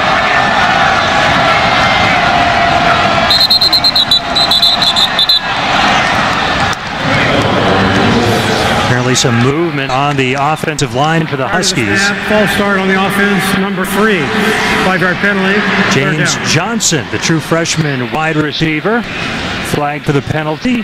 Boy, that's the kind of stuff that'll just drive a coach up the wall. The receiver's got no reason to jump on anything. They're just watching the ball, and the ball clearly didn't move, and James Johnson did. And that is the kind of thing that losing teams do. They get in their own way on third down situations and put themselves in even a bigger hole. Third and 12. Locker on the draw. And some good room, but he's going to come up short of the first down. Like Ledgerwood was in on the stop again for Washington State. And Steve Sarkisian immediately says, stay on the field. I got to play for you. Well, this is how big that last penalty uh, was. They were they had a, a, makeable third down situations. They backed the ball up four yards, uh, five yards. Jake Locker, they call him quarterback draw. He ends up missing it by like three yards. Fourth down and two. The Huskies this season have converted six of 11 fourth down tries.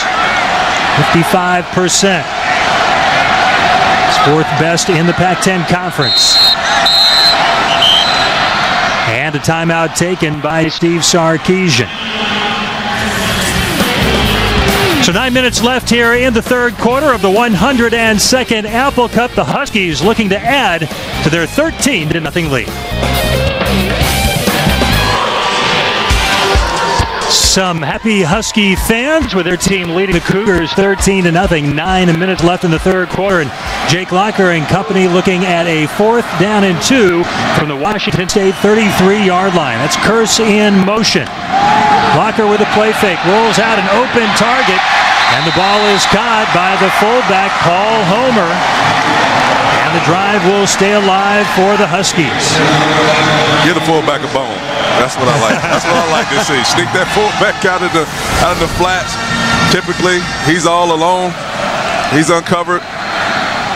People don't necessarily think about him sneaking out there and being wide open for uh, easy first down catch. Paul Homer came into this game without a reception this season, and he has three. You know what he's thinking?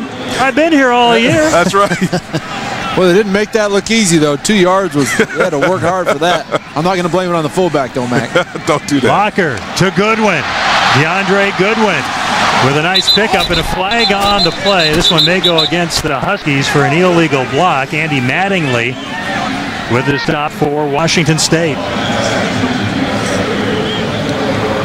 See, that's what happens. You get those fullbacks out in space too much, Mac. They get called for a holding penalty.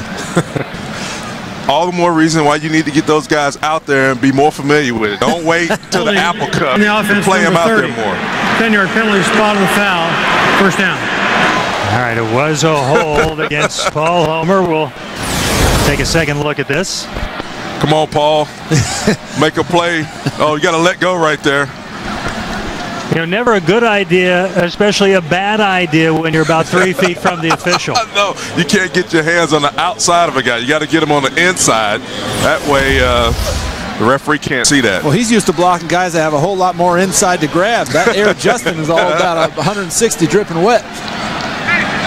So first down and 15 now for the Huskies. I formation. Play fake. Locker with a lot of time. Wide open, it's Homer. His new favorite target, and the fullback down near the 22-yard line. So Jason, talk about this. Again, here's Paul Homer, no catches coming into this game. Now he has four. Obviously, this has been game plan specifically because of something Steve Sarkisian saw in that Cougar defense. Well, I think one of the things the Cougars do because of personnel, they play a real loose covered zone, which leaves a lot of underneath stuff. And certainly within a game, you'll game plan certain plays. You're not trying to get a ball to anybody necessarily, but you take what the defense gives you, and Jake's doing a good job of finding number 30 here tonight. An 11-yard gain, second down and four. Polk, out of room, first down and more for Chris Polk, down near the 12-yard line. One of his better runs in this Apple Cup. The Huskies are threatening deep in red zone territory. So your Paul Homer is just getting it done here in the second half.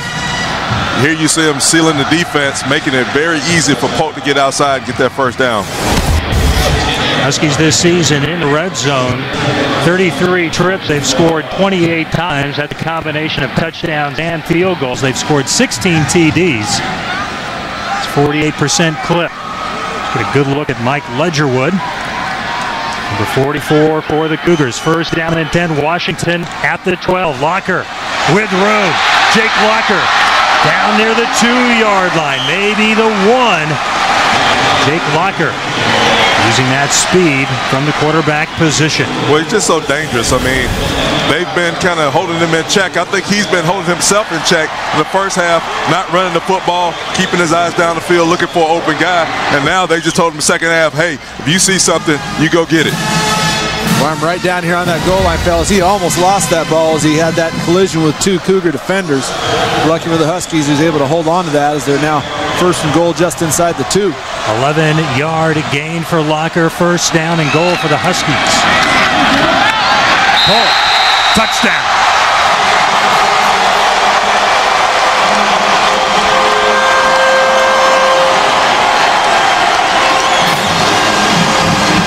Chris Polk with a second touchdown for the Huskies, and now a 19 to nothing lead over the Cougars. Well, you talk about setting a tone at the beginning of the half, the first half and the beginning of the second half. Here you just see those uh, Washington Huskies getting movement at the line of scrimmage, giving Polk just a little bit of daylight so that he can get over the top and get in the end zone. Erik Folk with a point after touchdown and a 20 nothing Husky lead over the Cougars. Jake Locker and company trying to turn this into a blowout.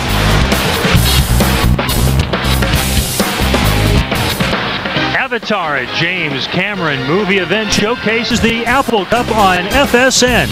Avatar in theaters December 18th.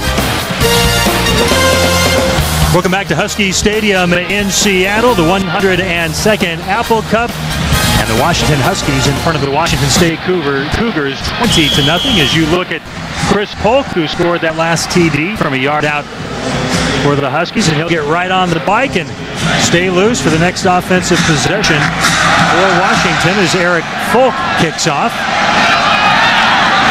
Oh, Winston with the ball at the 10-yard line for the Cougars on the return. Straightened up at about the 23-yard line. Nice tackle that time for the Huskies. Let's take a look at our Avatar game recap. Trick play early in this contest. Gino Simone unable to hold on. It cost the Cougars six points. Mason Foster. Nice read on that play. Jake Locker, the first touchdown of the game, 50 yards to Jermaine Kearse in the second quarter. And oh, it has been a rough night for Kevin Lopina, knocked out of this football game on two occasions. Just moments ago, Chris Polk extending the Husky lead to 20 to nothing. Marshall Lobbestael trying to get something going for a Cougar offense that has been stymied tonight. Lobbestael out to Simone. Cort Dennison will haul him down after a gain of about four or five yards. To get something going, they need to do this second half, Tom. Make no mistake about it. I think in order for them to make this game competitive at this point, they need to go down and get some points out of this. Whether it's a field goal or a touchdown, it really doesn't matter. They need to sustain the drive, put it together, get down, get points out of it. Five-yard gain on that play, second down and five.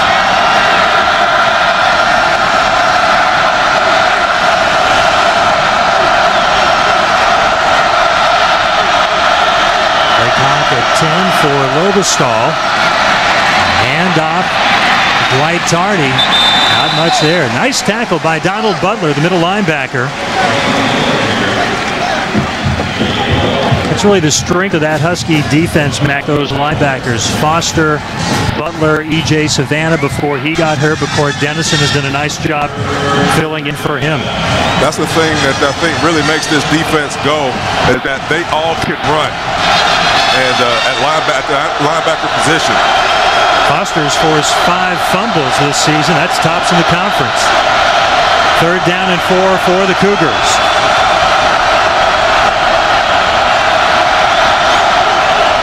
Husky fans again pumping up the volume here on third down.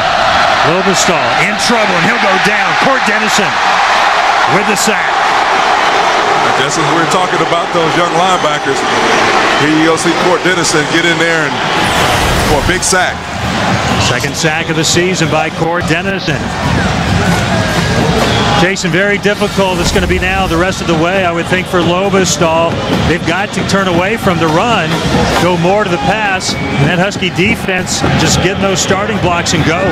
Yeah, they know they're going to be throwing the football, and as a quarterback, you get to that situation where you get hit a lot, and all of a sudden you feel that pressure even sooner than maybe it's getting there. So your reads are getting made a lot faster. You're not getting rid of the football, and you see what the end result is, either a sack or sometimes a bad throw. Marshall Lobbestael feeling the heat from Cort Dennison, and certainly more heat coming his way with his team down 20.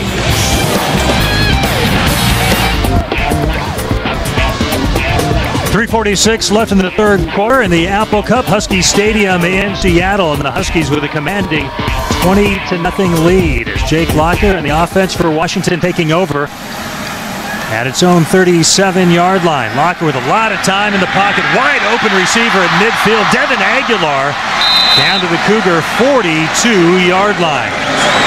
And with all that time, Cougar defensive backs could not hang with Devin Aguilar. No, he had a lot of time sitting in the pocket. I'm sure Marshall Lobbestael was wishing he was on the other side, wishing he had that kind of time to find open receivers. But there you see Devin, Devin Aguilar just sitting in that hole right there and uh, waiting for the uh, ball to get there. Made some good things happen. Linebacker Myron Beck just simply lost Aguilar a 21-yard gain for the Huskies and a first down.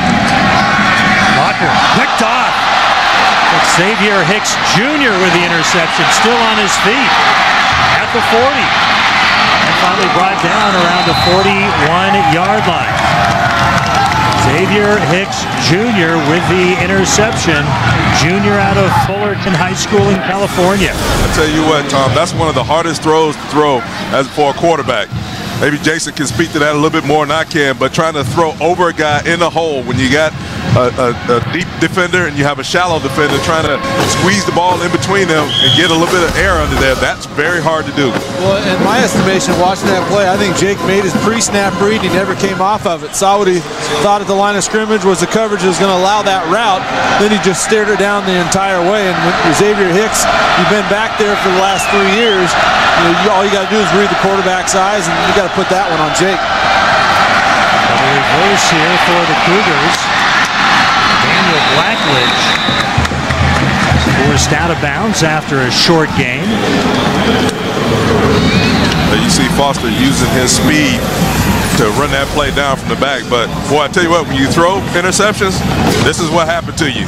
You got to keep your head on the swivel out there, Tom, especially if you're the quarterback, because everybody's going to take a shot at you when they can. And that was Casey Hamlett delivering the blow against Jake Locker. Four-yard gain on that last play for the Cougars. Trying to generate some offensive momentum in the wake of that interception. right, Tardy. Nice cutback move. Tardy at midfield.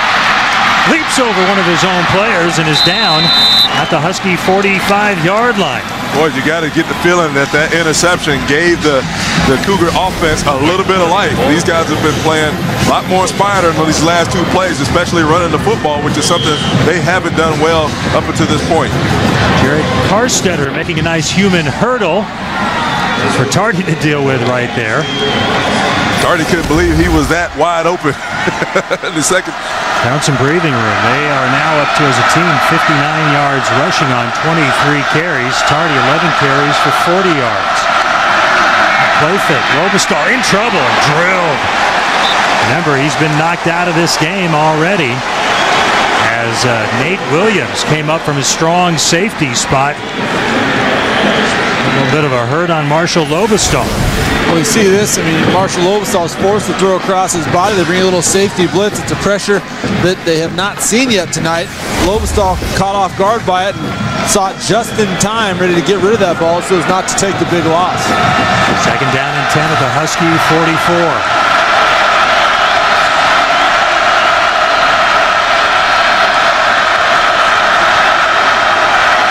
receivers to the left for Lobbestael. Out to Tardy with room.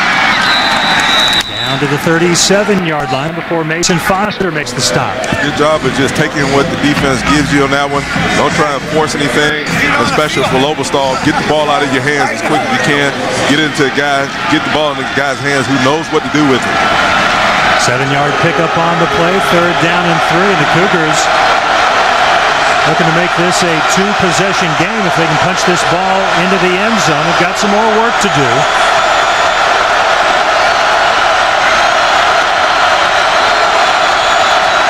Husky Stadium starting to vibrate.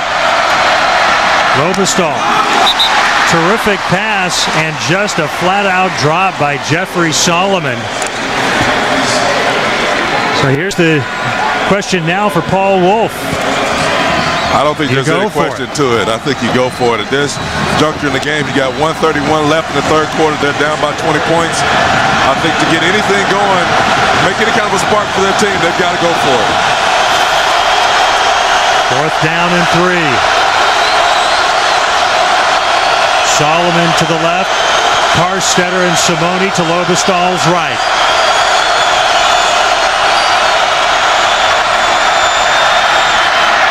Open target. Byers, the fullback, could not hold on. So back-to-back drops, and that kills that Cougar drive. Well, the Huskies end up winning this thing by a large margin. The, the Cougars are not going to have anybody to blame but themselves because they've had a lot of opportunities in this football game to make plays, and they didn't capitalize on them. They've had a lot of balls they've dropped, ended up on the ground, trick plays that they missed for a touchdown. These are things that they're going to have to correct if they want to be a good football team. 125 left in the third quarter. The Huskies take over at their own 37-yard line. First and 10. There's Kearse in motion.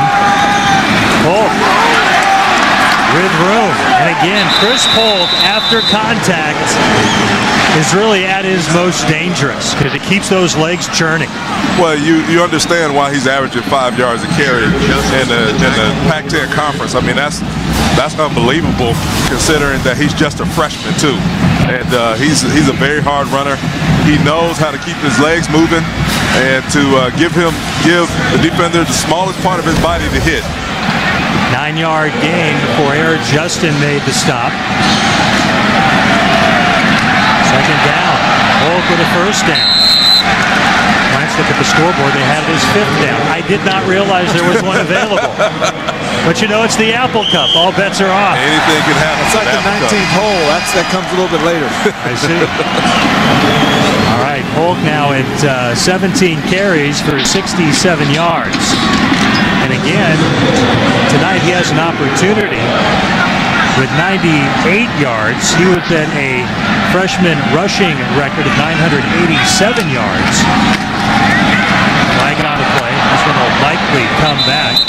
That freshman rushing record held by Jake Locker of 986 yards, and uh, Polk needing 111 yards tonight to get to 1,000. Holding on the offense, number 56. The 10-yard penalties from the previous spot, first down. Senio Kelemete, the starting uh, right guard. Look at Polk, 44 yards now away from becoming the first UW freshman to rush for 1,000 yards in a season. And this is a young man, Steve Sarkisian said, we didn't know what we had. You know, he was hurt last year. We come in. Is he a guy that could be our go-to guy, or are we going to have to use a number of backs? And it didn't take long for Chris Polk to let that coaching staff know he could be the man. That's, that's a guy that knows something about that role. Jake Locker down to the Cougar 40-yard line on the final play of the third quarter. What? Take a look at Jake Locker. Little pump fake. Nobody open. That's nice. I mean, you want to talk about being able to stay in the pocket and throw the football when you can. I tell you what, he's dangerous when he tucks it, he runs with it. 15 minutes left at least in the Apple Cup, and the Huskies with a commanding 20 to nothing lead.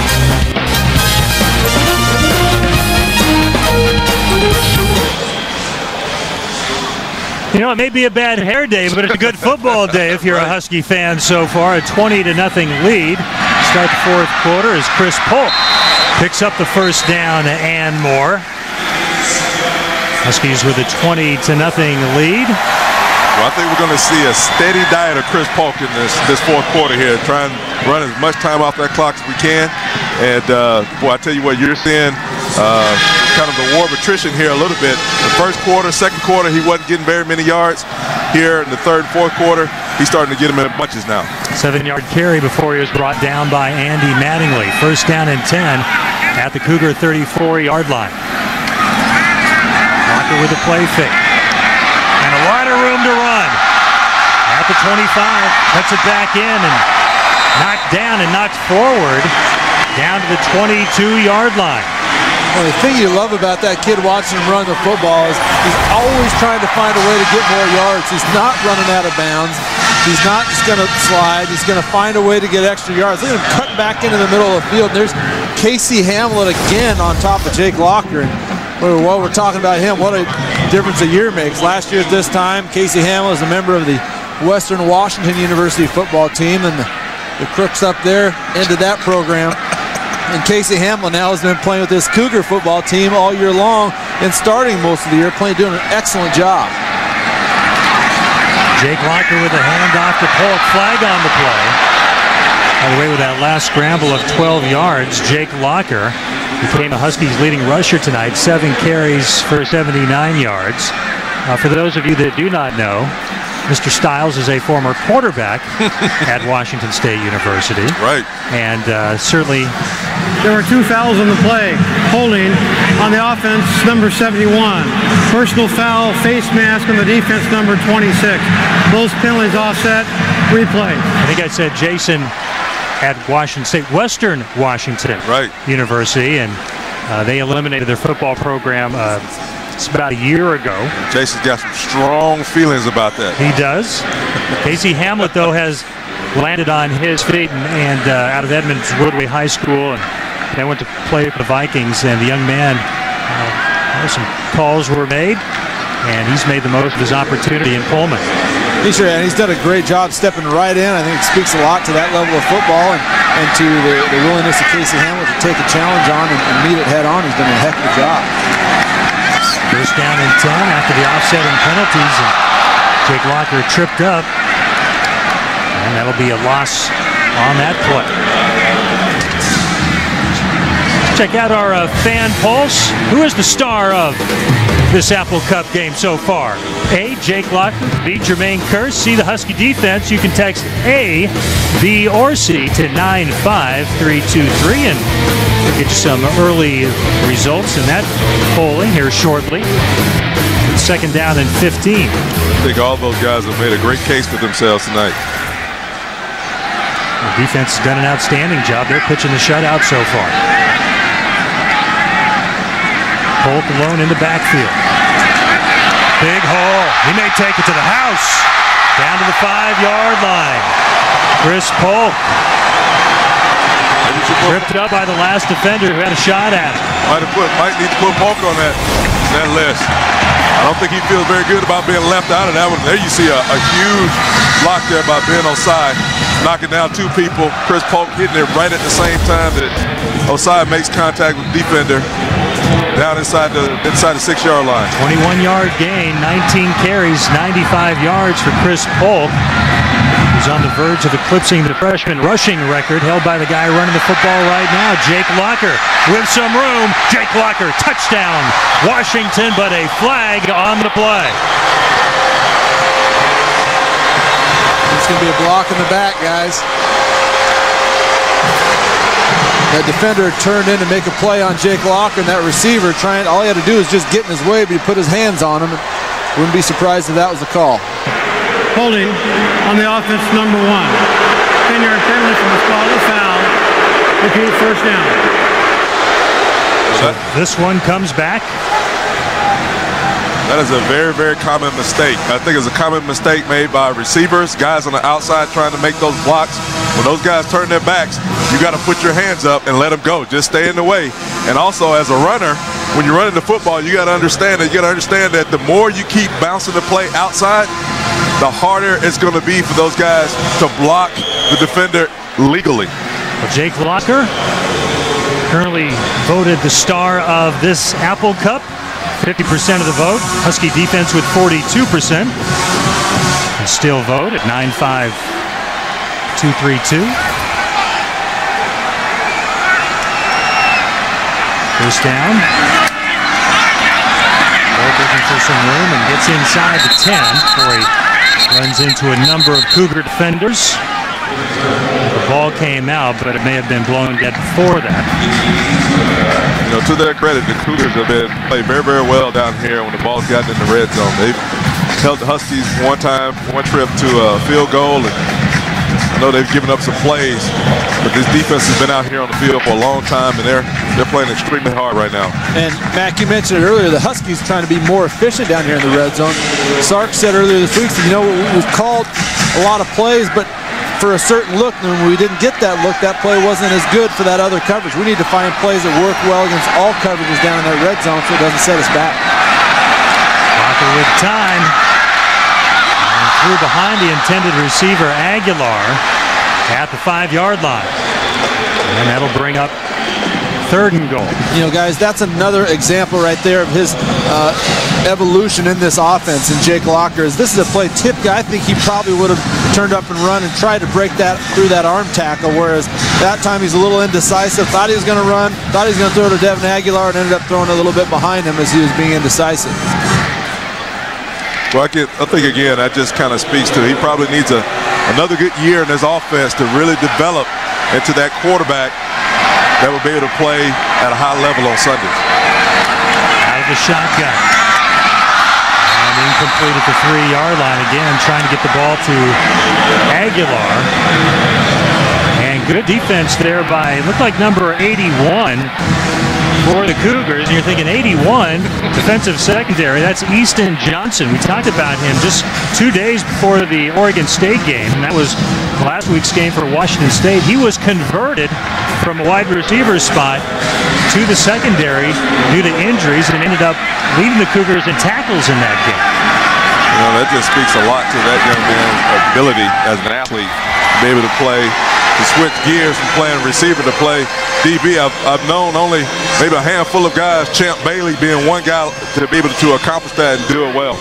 Erik Folk with a 27-yard field goal, 23 to nothing. Huskies over the Cougars. When we come back, we'll talk with those folks, Grandma and Grandpa Locker. We've got a youngster on both teams. Welcome back to the Apple Cup here on FSN. I am Angie Mentink, and Apple Cup week is very difficult for a lot of people uh, because sometimes you have split families, and I'm here with one of those families. I'm here with Grandma and Grandpa Locker, Grandma and Grandpa of Jake Locker of the Huskies, and Casey Locker of the Cougars. So, uh, Grandma or Barb, tell me how you combat, uh, you know, rooting for both sides. Well, I have to. When you're a grandma, you have to be very fair. And so Casey's not playing, but he's on the field, so we have to have Cougar, and then we have Huskies. And it's my understanding a friend of yours made that scarf for you? Joan Beller, a good friend, yes, made it for me, and I just really like it. All right, so you have a W on one cheek and a Go Cougs on the other. And uh, Grandpa, if we can ask you real quick, I know you had Thanksgiving, so was there lots of uh, fights over mashed potatoes with all those Huskies and the Cougars in the same house? Well, they don't. They didn't fight over it. We had, Casey came home from Washington State. Brady, his brother, older brother from Western Oregon, and then uh, Jake came up on Thanksgiving morning, and it was uh, it was fun having them all there. We had ten of our twelve at our Thanksgiving, and it was fun. Grandpa, thank you very much. We appreciate it, Hugh. And uh, guys, there is a tailgate afterwards where both the Huskies and the Cougars, the whole entire Locker family, will be together. All right, Angie, thanks so much. We have an injured Cougar on the play after that kickoff return, and I've not been able to pick up his number. But a big hit delivered on the returner, Carl Winston, by Nate Fellner. Winston, number 32. There's the hit by Fellner. The player, though, to the left could not pick up his uh, number on that shot on the ground. Nate Fellner, by the way, the grandson of former Cougar football coach Jim Sweeney. Well, I'll tell you what, he got through and made a big time hit on that, but that young man that's still laying on the ground out there, he was the outside of the wedge, and I think he took the brunt of that lick being on the being in the wedge. Sometimes that's where your biggest collisions come. And uh, he seems to be moving. All right. Well, well, they tend to the injured player. We'll take a timeout. 10:58 left in the fourth quarter. It's all Huskies, 23 to nothing.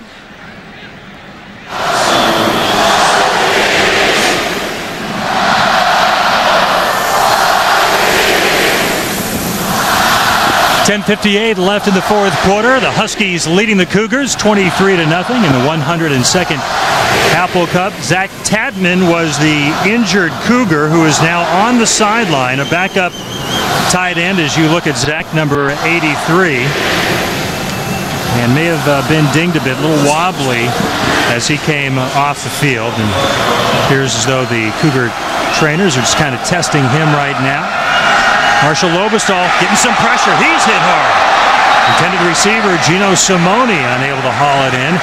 At the 43-yard line as Nate Williams came flying in and applied some heat to Lobbestael. Tell you what, I know it's cold tonight, but I think Marshall Lobbestael is going to have to need it. He's going to need to get in the ice tub tonight or sometime in the morning because he's taken a lot of pounding tonight and been on his back a lot. And if you missed it earlier, the starter at quarterback, Kevin Lopina, was knocked out of this ball game twice and has been unable to return after that second injury, which apparently was to his right leg. Second down and 10 for the Cougars. Tardy. That play getting strung out nicely by Mason Foster. No gain on that play.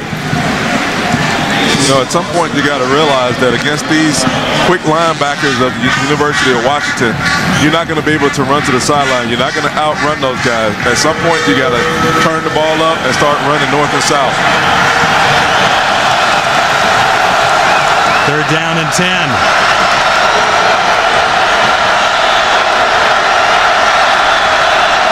Karstetter out wide right. Simone in the slot to the right for Lobbestael. Foster on the blitz. Lobbestael short hops it to Karstetter at the 39-yard line. And that'll bring up fourth down and bring the punter Reid Forrest on for Washington State. That's got to be frustrating too. One of the few times that Lobbestael's been able to roll out, just fully step into a throw, and he just downs it. You see that he took that extra long stride when he threw that. As a quarterback, when you take longer strides, oftentimes you're going to throw that ball into the ground. Same as if you take a little bit shorter stride, you're obviously going to throw that ball a little bit high. Marshall Lobbestael's mechanics, his fundamentals weren't there on that play. Sixth punt of the night for Forrest. He's averaged just over 42 yards per punt. And that ball will bounce out of bounds. And it'll be Husky football. Today's first and 10 marker is brought to you by the Emerald Queen Hotel and Casino, welcoming the Spinners Friday, December 11th. For tickets, go to emeraldqueen.com. First down and 10 for the Huskies after the 29 yard Reid Forrest punt. The Dogs take over at their own 46. Chris Polk is right now tied with Jake Locker for the freshman rushing record. It is now his as he goes into Cougar territory at the 48 yard line. So Chris Polk moves past Jake Locker as the all time freshman rushing leader at Washington. This is uh, a great job of running with the football. I mean, he just lets all the rest of those guys kind of clear out as he runs that little stretch play, brings it all the way back across, gets his shoulder pads going north and south, and make that look really easy. 21 carries, 103 yards, add to the total as he nears a 1,000 yards down to the 35-yard line. And that may have gotten Chris Polk to 1,000 yards. The first freshman running back to reach that milestone in Husky history. Let's see where they mark it. That is, he's at 116 yards. That's 1,005 yards on the season for Chris Polk. Well, that's just remarkable. Consider how much they've struggled on offense and as a team to have that type of accomplishment as a running back. I, I think that says a lot about him and his teammates. And another big chunk of yardage, close to a 10-yard gain. And you know, there have been some outstanding backs over the years here at Washington, and he's certainly adding his name to a lengthy list and just a freshman. He's just a freshman, and he's the only one that's accomplished that. So, so far, he's going to be the guy to watch for the next couple of years around here, and I'm sure the Husky fans are excited that uh, he's playing here and not someplace else. Well, and, and, guys, I think too, when you got a thousand-yard back, regardless whether he's a freshman or a senior, a lot credit's got to go to those big boys up front. You know, they've been maligned, have this offensive line for the Huskies, and that's certainly something to build on something they can take a lot of pride in. Polk again, you think about guys like Napoleon Kaufman and Jacque Robinson and Joe Steele back in the day out of Blanchet High School, to name just a few. And apologies to anyone. Corey Dillon. Oh, I've heard of that guy. he had a pretty decent NFL career. Pretty, pretty decent. Of course, Corey transferred uh, into the UW, did not have four full years here, but made an impact in a major one while he was here. It was short-lived, but uh, he made a huge impact. 24 carries, 127 yards for Polk. 25 carries now, a short gain on first down. Clock continues to roll. 7:43 left in the fourth quarter. Well, this is uh, this is the time of the of the game where they want to see the offense really start grinding it out. Those offensive linemen got to dig their heels in into the ground, come off the ball, fire. Make sure that they keep the ball moving, keep the chains moving, keep the clock moving. More most importantly, I know it's seven minutes and 20 seconds left in the game, but this is like really like the four-minute offense. With the pitch. Demetrius Bronson, Polk's backup, close to a first down before he's knocked out of bounds. Mike Ledgerwood down there. Also Terrence Hayward, the Cougars. You got to be very careful. I know this is kid not necessarily used to carrying the football a lot, but he luckily he switched that ball, gets it in his outside arm. But you don't want to fumble the football. You don't want to get out of bounds. What's important about the four-minute offense? You're trying to run time off clock. Stay in bounds. I'm sure that's probably going to be a point of emphasis that gets stressed to him when he gets back over to the sideline. Here's Bronson, a freshman. Locker still with the football, with room. Cuts it to the outside. And is it a touchdown? It is for Jake Locker.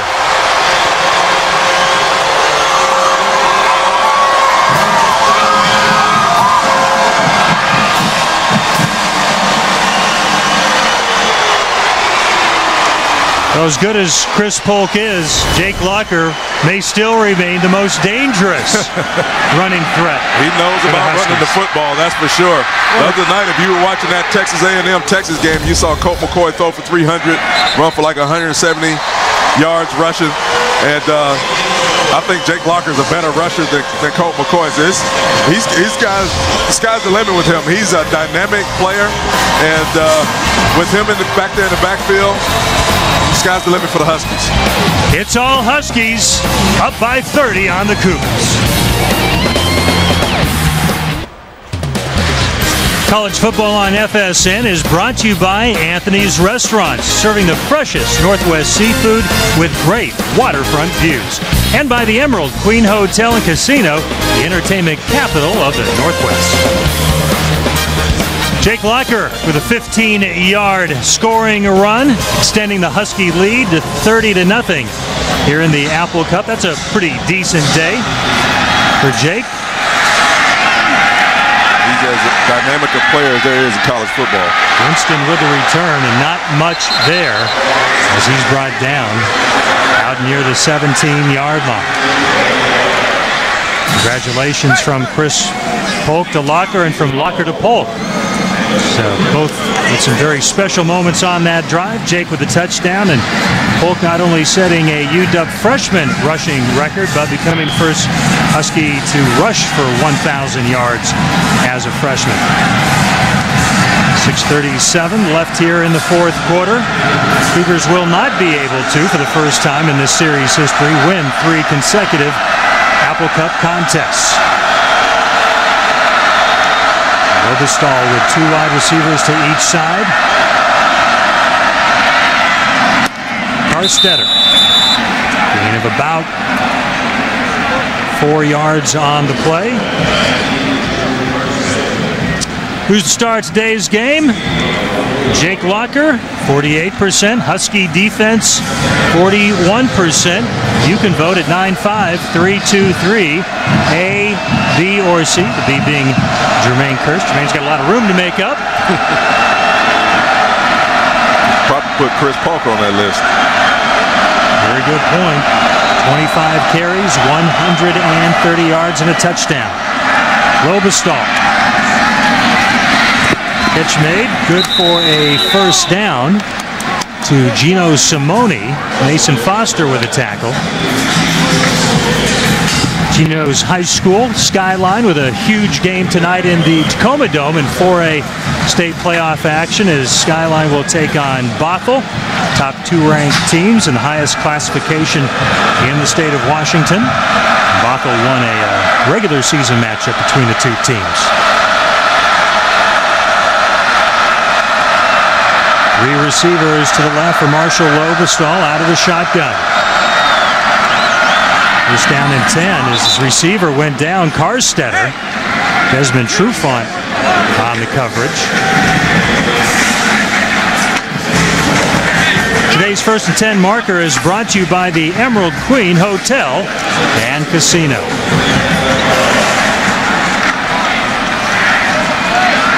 You know, talk about being positive, Tom. I asked Coach Paul Wulff, you know, what what can you take away that's positive from this season? He's like, you know, all these kids know where they're at. They know that they're one in ten, and they know the, work that they have in front of them in order to get to be a football team. The other thing he says, they're just taking on a challenge, working really hard, and having a good attitude. Loose football. Knocked free, free by Josh Gage, and it looked like the Huskies recovered.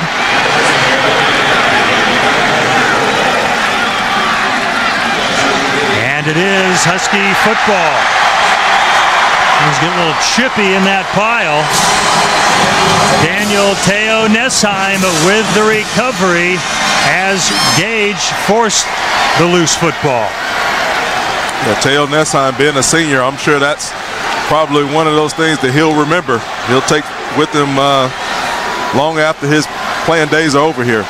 Last shutout in an Apple Cup contest, November 21st, 1964. 14 to nothing ball game.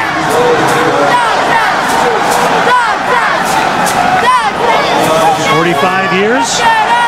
45 years, you got to go back to find the last shutout involving these two teams. Ronnie Fouch in at quarterback for Jake Locker. As Jake's night is over, that's the last shutout for a Husky football team in this series back in 1964. Alex Hoffman Ellis with the last stop on that play. Ronnie Fouch, we got a lot of activity last year when Jake Locker went down with the broken thumb in game four.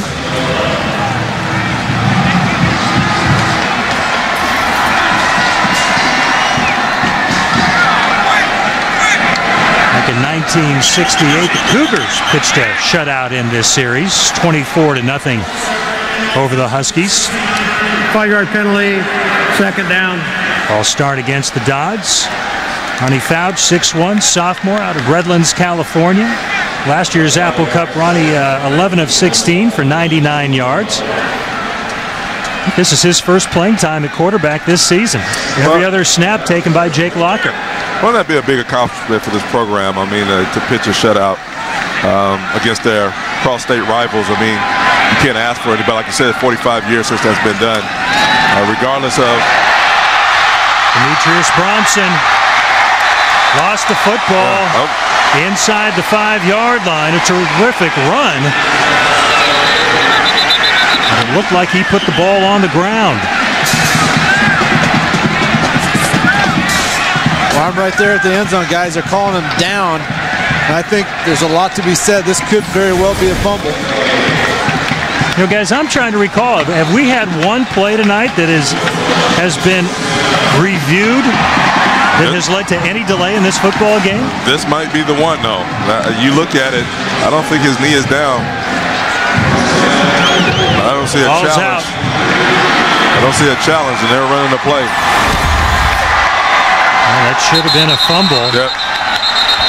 Now we have a penalty, and this may allow for this play to get reviewed and give Washington State possession. Let's see. Offside by contact on the defense number 95. Penalty is half the distance to the goal. First down.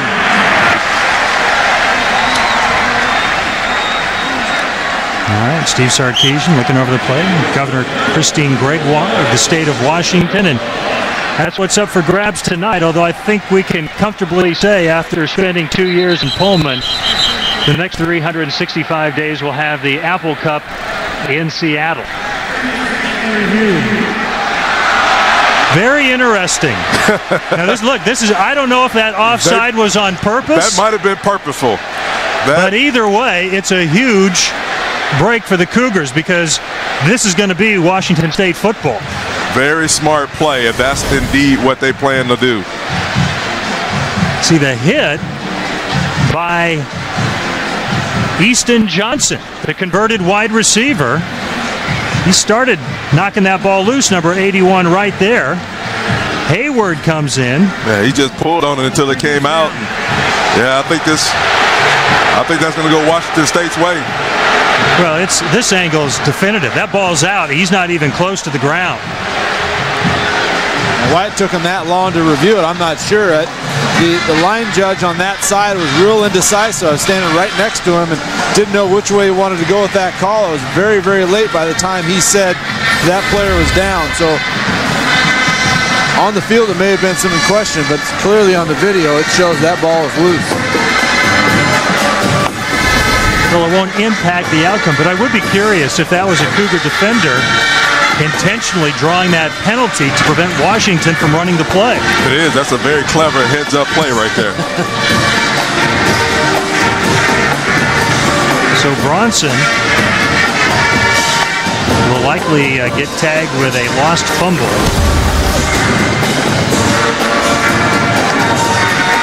You know, if they were talking to us, we could have taken care of it for them by now.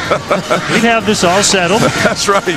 We give we give the Cougars First the and ball. 10 for That's the right. Cougars. We, we keep rolling. Now, the bottom line is, in all these situations, to get it right. That's and it. We, we assume that Take the time will that get it this takes. one right. Yep. Just look at the uh, numbers tonight as I glance over at the stats. 451 yards of total offense for the Huskies.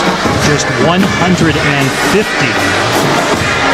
yards of total offense for the Cougars, who averaged 256 coming into the game. After review, it's been determined that the runner was not down when the ball came out. Therefore, Washington State will take possession of the ball on the three-yard line. First down. There you have it. First and 10 for the Cougars. So, all those Husky fans. The, the angry Husky They didn't like the last two years. I tell you, that is the first for me, though, fellas, to actually have a play reviewed after there's been a penalty on the ensuing play. Granted, the ball was not snapped, but the fact that there was still a penalty, I've, I've not seen that before. And I think a lot of Husky fans are saying the same thing. That may be the best offside penalty of the season. It was. for It was the very Cougars. timely. So Marshall Lobbestael will jog back out onto the field with the Cougar offense, hoping to at least get some points on the board and avoid the shutout here at Husky Stadium as they trail 30 to nothing with 4:07 left to play, and they'll have to execute with the boos raining down. Well, they, they need to score some points. I mean, just for the confidence and the morale of their team. I mean, the defense has been out there all day long, playing really hard, scrapping, fighting, and uh, just hanging in there. And the offense needs to kind of get some, put some plays together, do their part, and at least get some points on the board. Heck, guys, they just need to get a little bit of push to get out of their own end zone.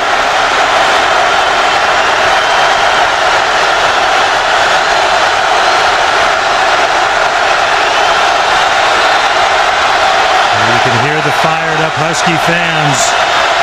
The handoff to Tardy and nothing there. Josh Gage, number 24 with the stop. 6'2", 225 senior out of Huntington Beach, California. Yeah, I don't know how confident they are of dropping back the pass because you've been in your own end zone and you don't want to you don't want to take a safety here. Loss of a yard, second and 11.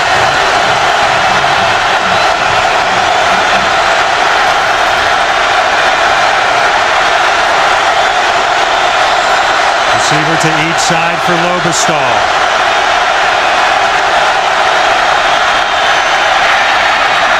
As a receiver and a first down, Daniel Blackledge with the catch tackled by Josh Gage. Yeah, that was a great job by just uh, a little three-step drop. Get the ball out of your hand as quick as possible, run a little hitch right on the outside, make the catch and move the chain. First and 10 at the 15.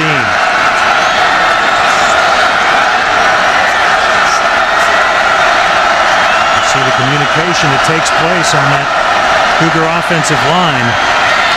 Tardy going nowhere. And a loss of two yards on the play. Trenton Tuiasosopo, number 57, with the stop. Senior out of Mariner High School in Everett. And that's the frustrating part for Cougar fans is offensively, for every step this team takes forward, they take another step or even two steps back. And there's just no continuity whatsoever, and that's just the way it's been all year long. Trent, the cousin of former Huskies Marcus and Zach Tuiasosopo. Second down and 12 for the Cougars. Lobbestael with time, not anymore. And he's brought down Tuiasosopo in on the play. Daniel Te'o-Nesheim as well. And that was a great job of just collapsing the pocket on him. He couldn't even scramble to get out of there. But you know, I, I think Washington State's making really making a, a, a case just about sort of the way that they get their information from the sideline is very distracting. Just sitting here watching it, I can't imagine what it's like as a player being out there and having to wait to get a play from the sideline each and every play. Third down and 15. 10 seconds on the play clock, and the play just goes in now. Four seconds on the play clock. Lobbestael. Karstetter, the completion. He'll be well short of a first down. Mason Foster with the tackle for the Huskies. You know, the, the tough part about that for Lobbestael is that each and every time he knows he's going to get pressure, so he's not coming off his primary read. You can watch his eyes and see where his head's at. he's looking at one guy and one guy only. And so if that ball is complete, great. If it's not, the ball is either going to be thrown into traffic he's going to be brought down. And that's all part of that confidence things that we've talked about several times throughout this ball game. We are inside a minute left in the 2009 Apple Cup. Reid Forrest punting away. Kevin Aguilar for the Huskies signals the fair catch and makes it near midfield. Got a Husky and a Cougar locked up back at the 35-yard line. They're separated. No harm, no foul on that play. And this is the final game of the season for Washington State. They'll be saying farewell to 14 seniors on the roster for the Huskies. They'll be right back here next Saturday to wrap up the season and conference play against a very good California Golden Bear Club. Well, this will be the type of win that they'll need to propel them into next week. Get ready for that football game. That's going to be, a, I'm sure, a very hard-fought game. Fouch with a handoff. Football, Curtis Shaw for the Huskies. Let's take a look at our Widmer moment. And it's Jake Locker getting it done on the ground. 10 carries, 94 yards through the air, a 50-yard touchdown on that play. Jake 18 of 28, one interception, one touchdown, 196 yards. It was a very Locker-esque performance as Jake Locker will be an Apple Cup winner for the first time in his career. And Shaw with the carry. Eight seconds, and that will do it. Domination by the Washington Huskies over the Washington State Cougars in the 102nd edition of the Apple Cup as the Huskies get it done 30 to nothing. Very impressive stuff, Jason, from not only Jake Locker, Chris Polk, but that Husky defense pitching its first shutout in this series since 1964. Boy, and the defense did a fantastic job. They continued to give their offense opportunity, opportunity after opportunity. The first half was about big plays, and the second half, the Washington offense just systematically wore down that Cougar defense and really controlled the line of scrimmage. Let's connect with Angie Menting. Coach, before this game, you said to me, besides the win, the one thing you wanted was enthusiasm. You wanted your kids to have fun. I'd safe to say that was enthusiastic and fun. Yeah, I thought we did. Our kids played hard right till the end, and we wanted that to happen. And uh, it was fun. It was exciting. We played physical. Uh, so proud of our defense. You know, first shutout in, uh, in this under Nick's uh, you know regime, and uh, it's exciting for them. I know. It's been a lot of regimes before we had a shutout. 40 something years or something, I believe they were saying in my ear. Uh, what about this crowd? Have you ever heard a crowd this loud for a 30 nothing blowout? It was awesome. It was great. And I think that the passion they showed with the turnover there on the one and to get that stop was huge for everybody involved. All right, so uh, you're one to know now as uh, as uh, or in Apple Cups rather as the Huskies head coach. When you look at film, what are you going to be most proud of? That we played hard. We ran the ball well. We stopped the run on defense. That's what we want to do coming into this game. All right, coach. Thank you very much. We appreciate it. All right, let's get it back out to Brad Adam. Brad. Well, Angie, thank you very much. As she mentioned, guys, Steve Sarkisian now 1-0 as coach of the Huskies in the Apple Cup. Congratulations to him and the Huskies. Brad Adam, Jason Gesser, and Damon Huard. We've got some uh, some uh, fans behind us are excited about Imagine- this game. imagine that. Yeah, imagine that. Yeah. Uh, quickly, Damon, um, Yep. you've got now what 365 days to brag. Absolutely. Is that how this works now? Oh, it's great. Very workmanlike victory. We did our job. I think this is the score kind of everyone expected. Vegas got it right. You know, I didn't really want to wager my friends and give them 24 and a half points, but I'm feeling pretty good right now with this big victory. And the Cougar side, well, we'll get your take in just a minute, Mr. Gesser. We've got a trophy presentation to get to, more highlights, lots of reaction. You're watching College Football Northwest on FSN, presented by Snoqualmie Casino, Seattle's premier entertainment and dining destination.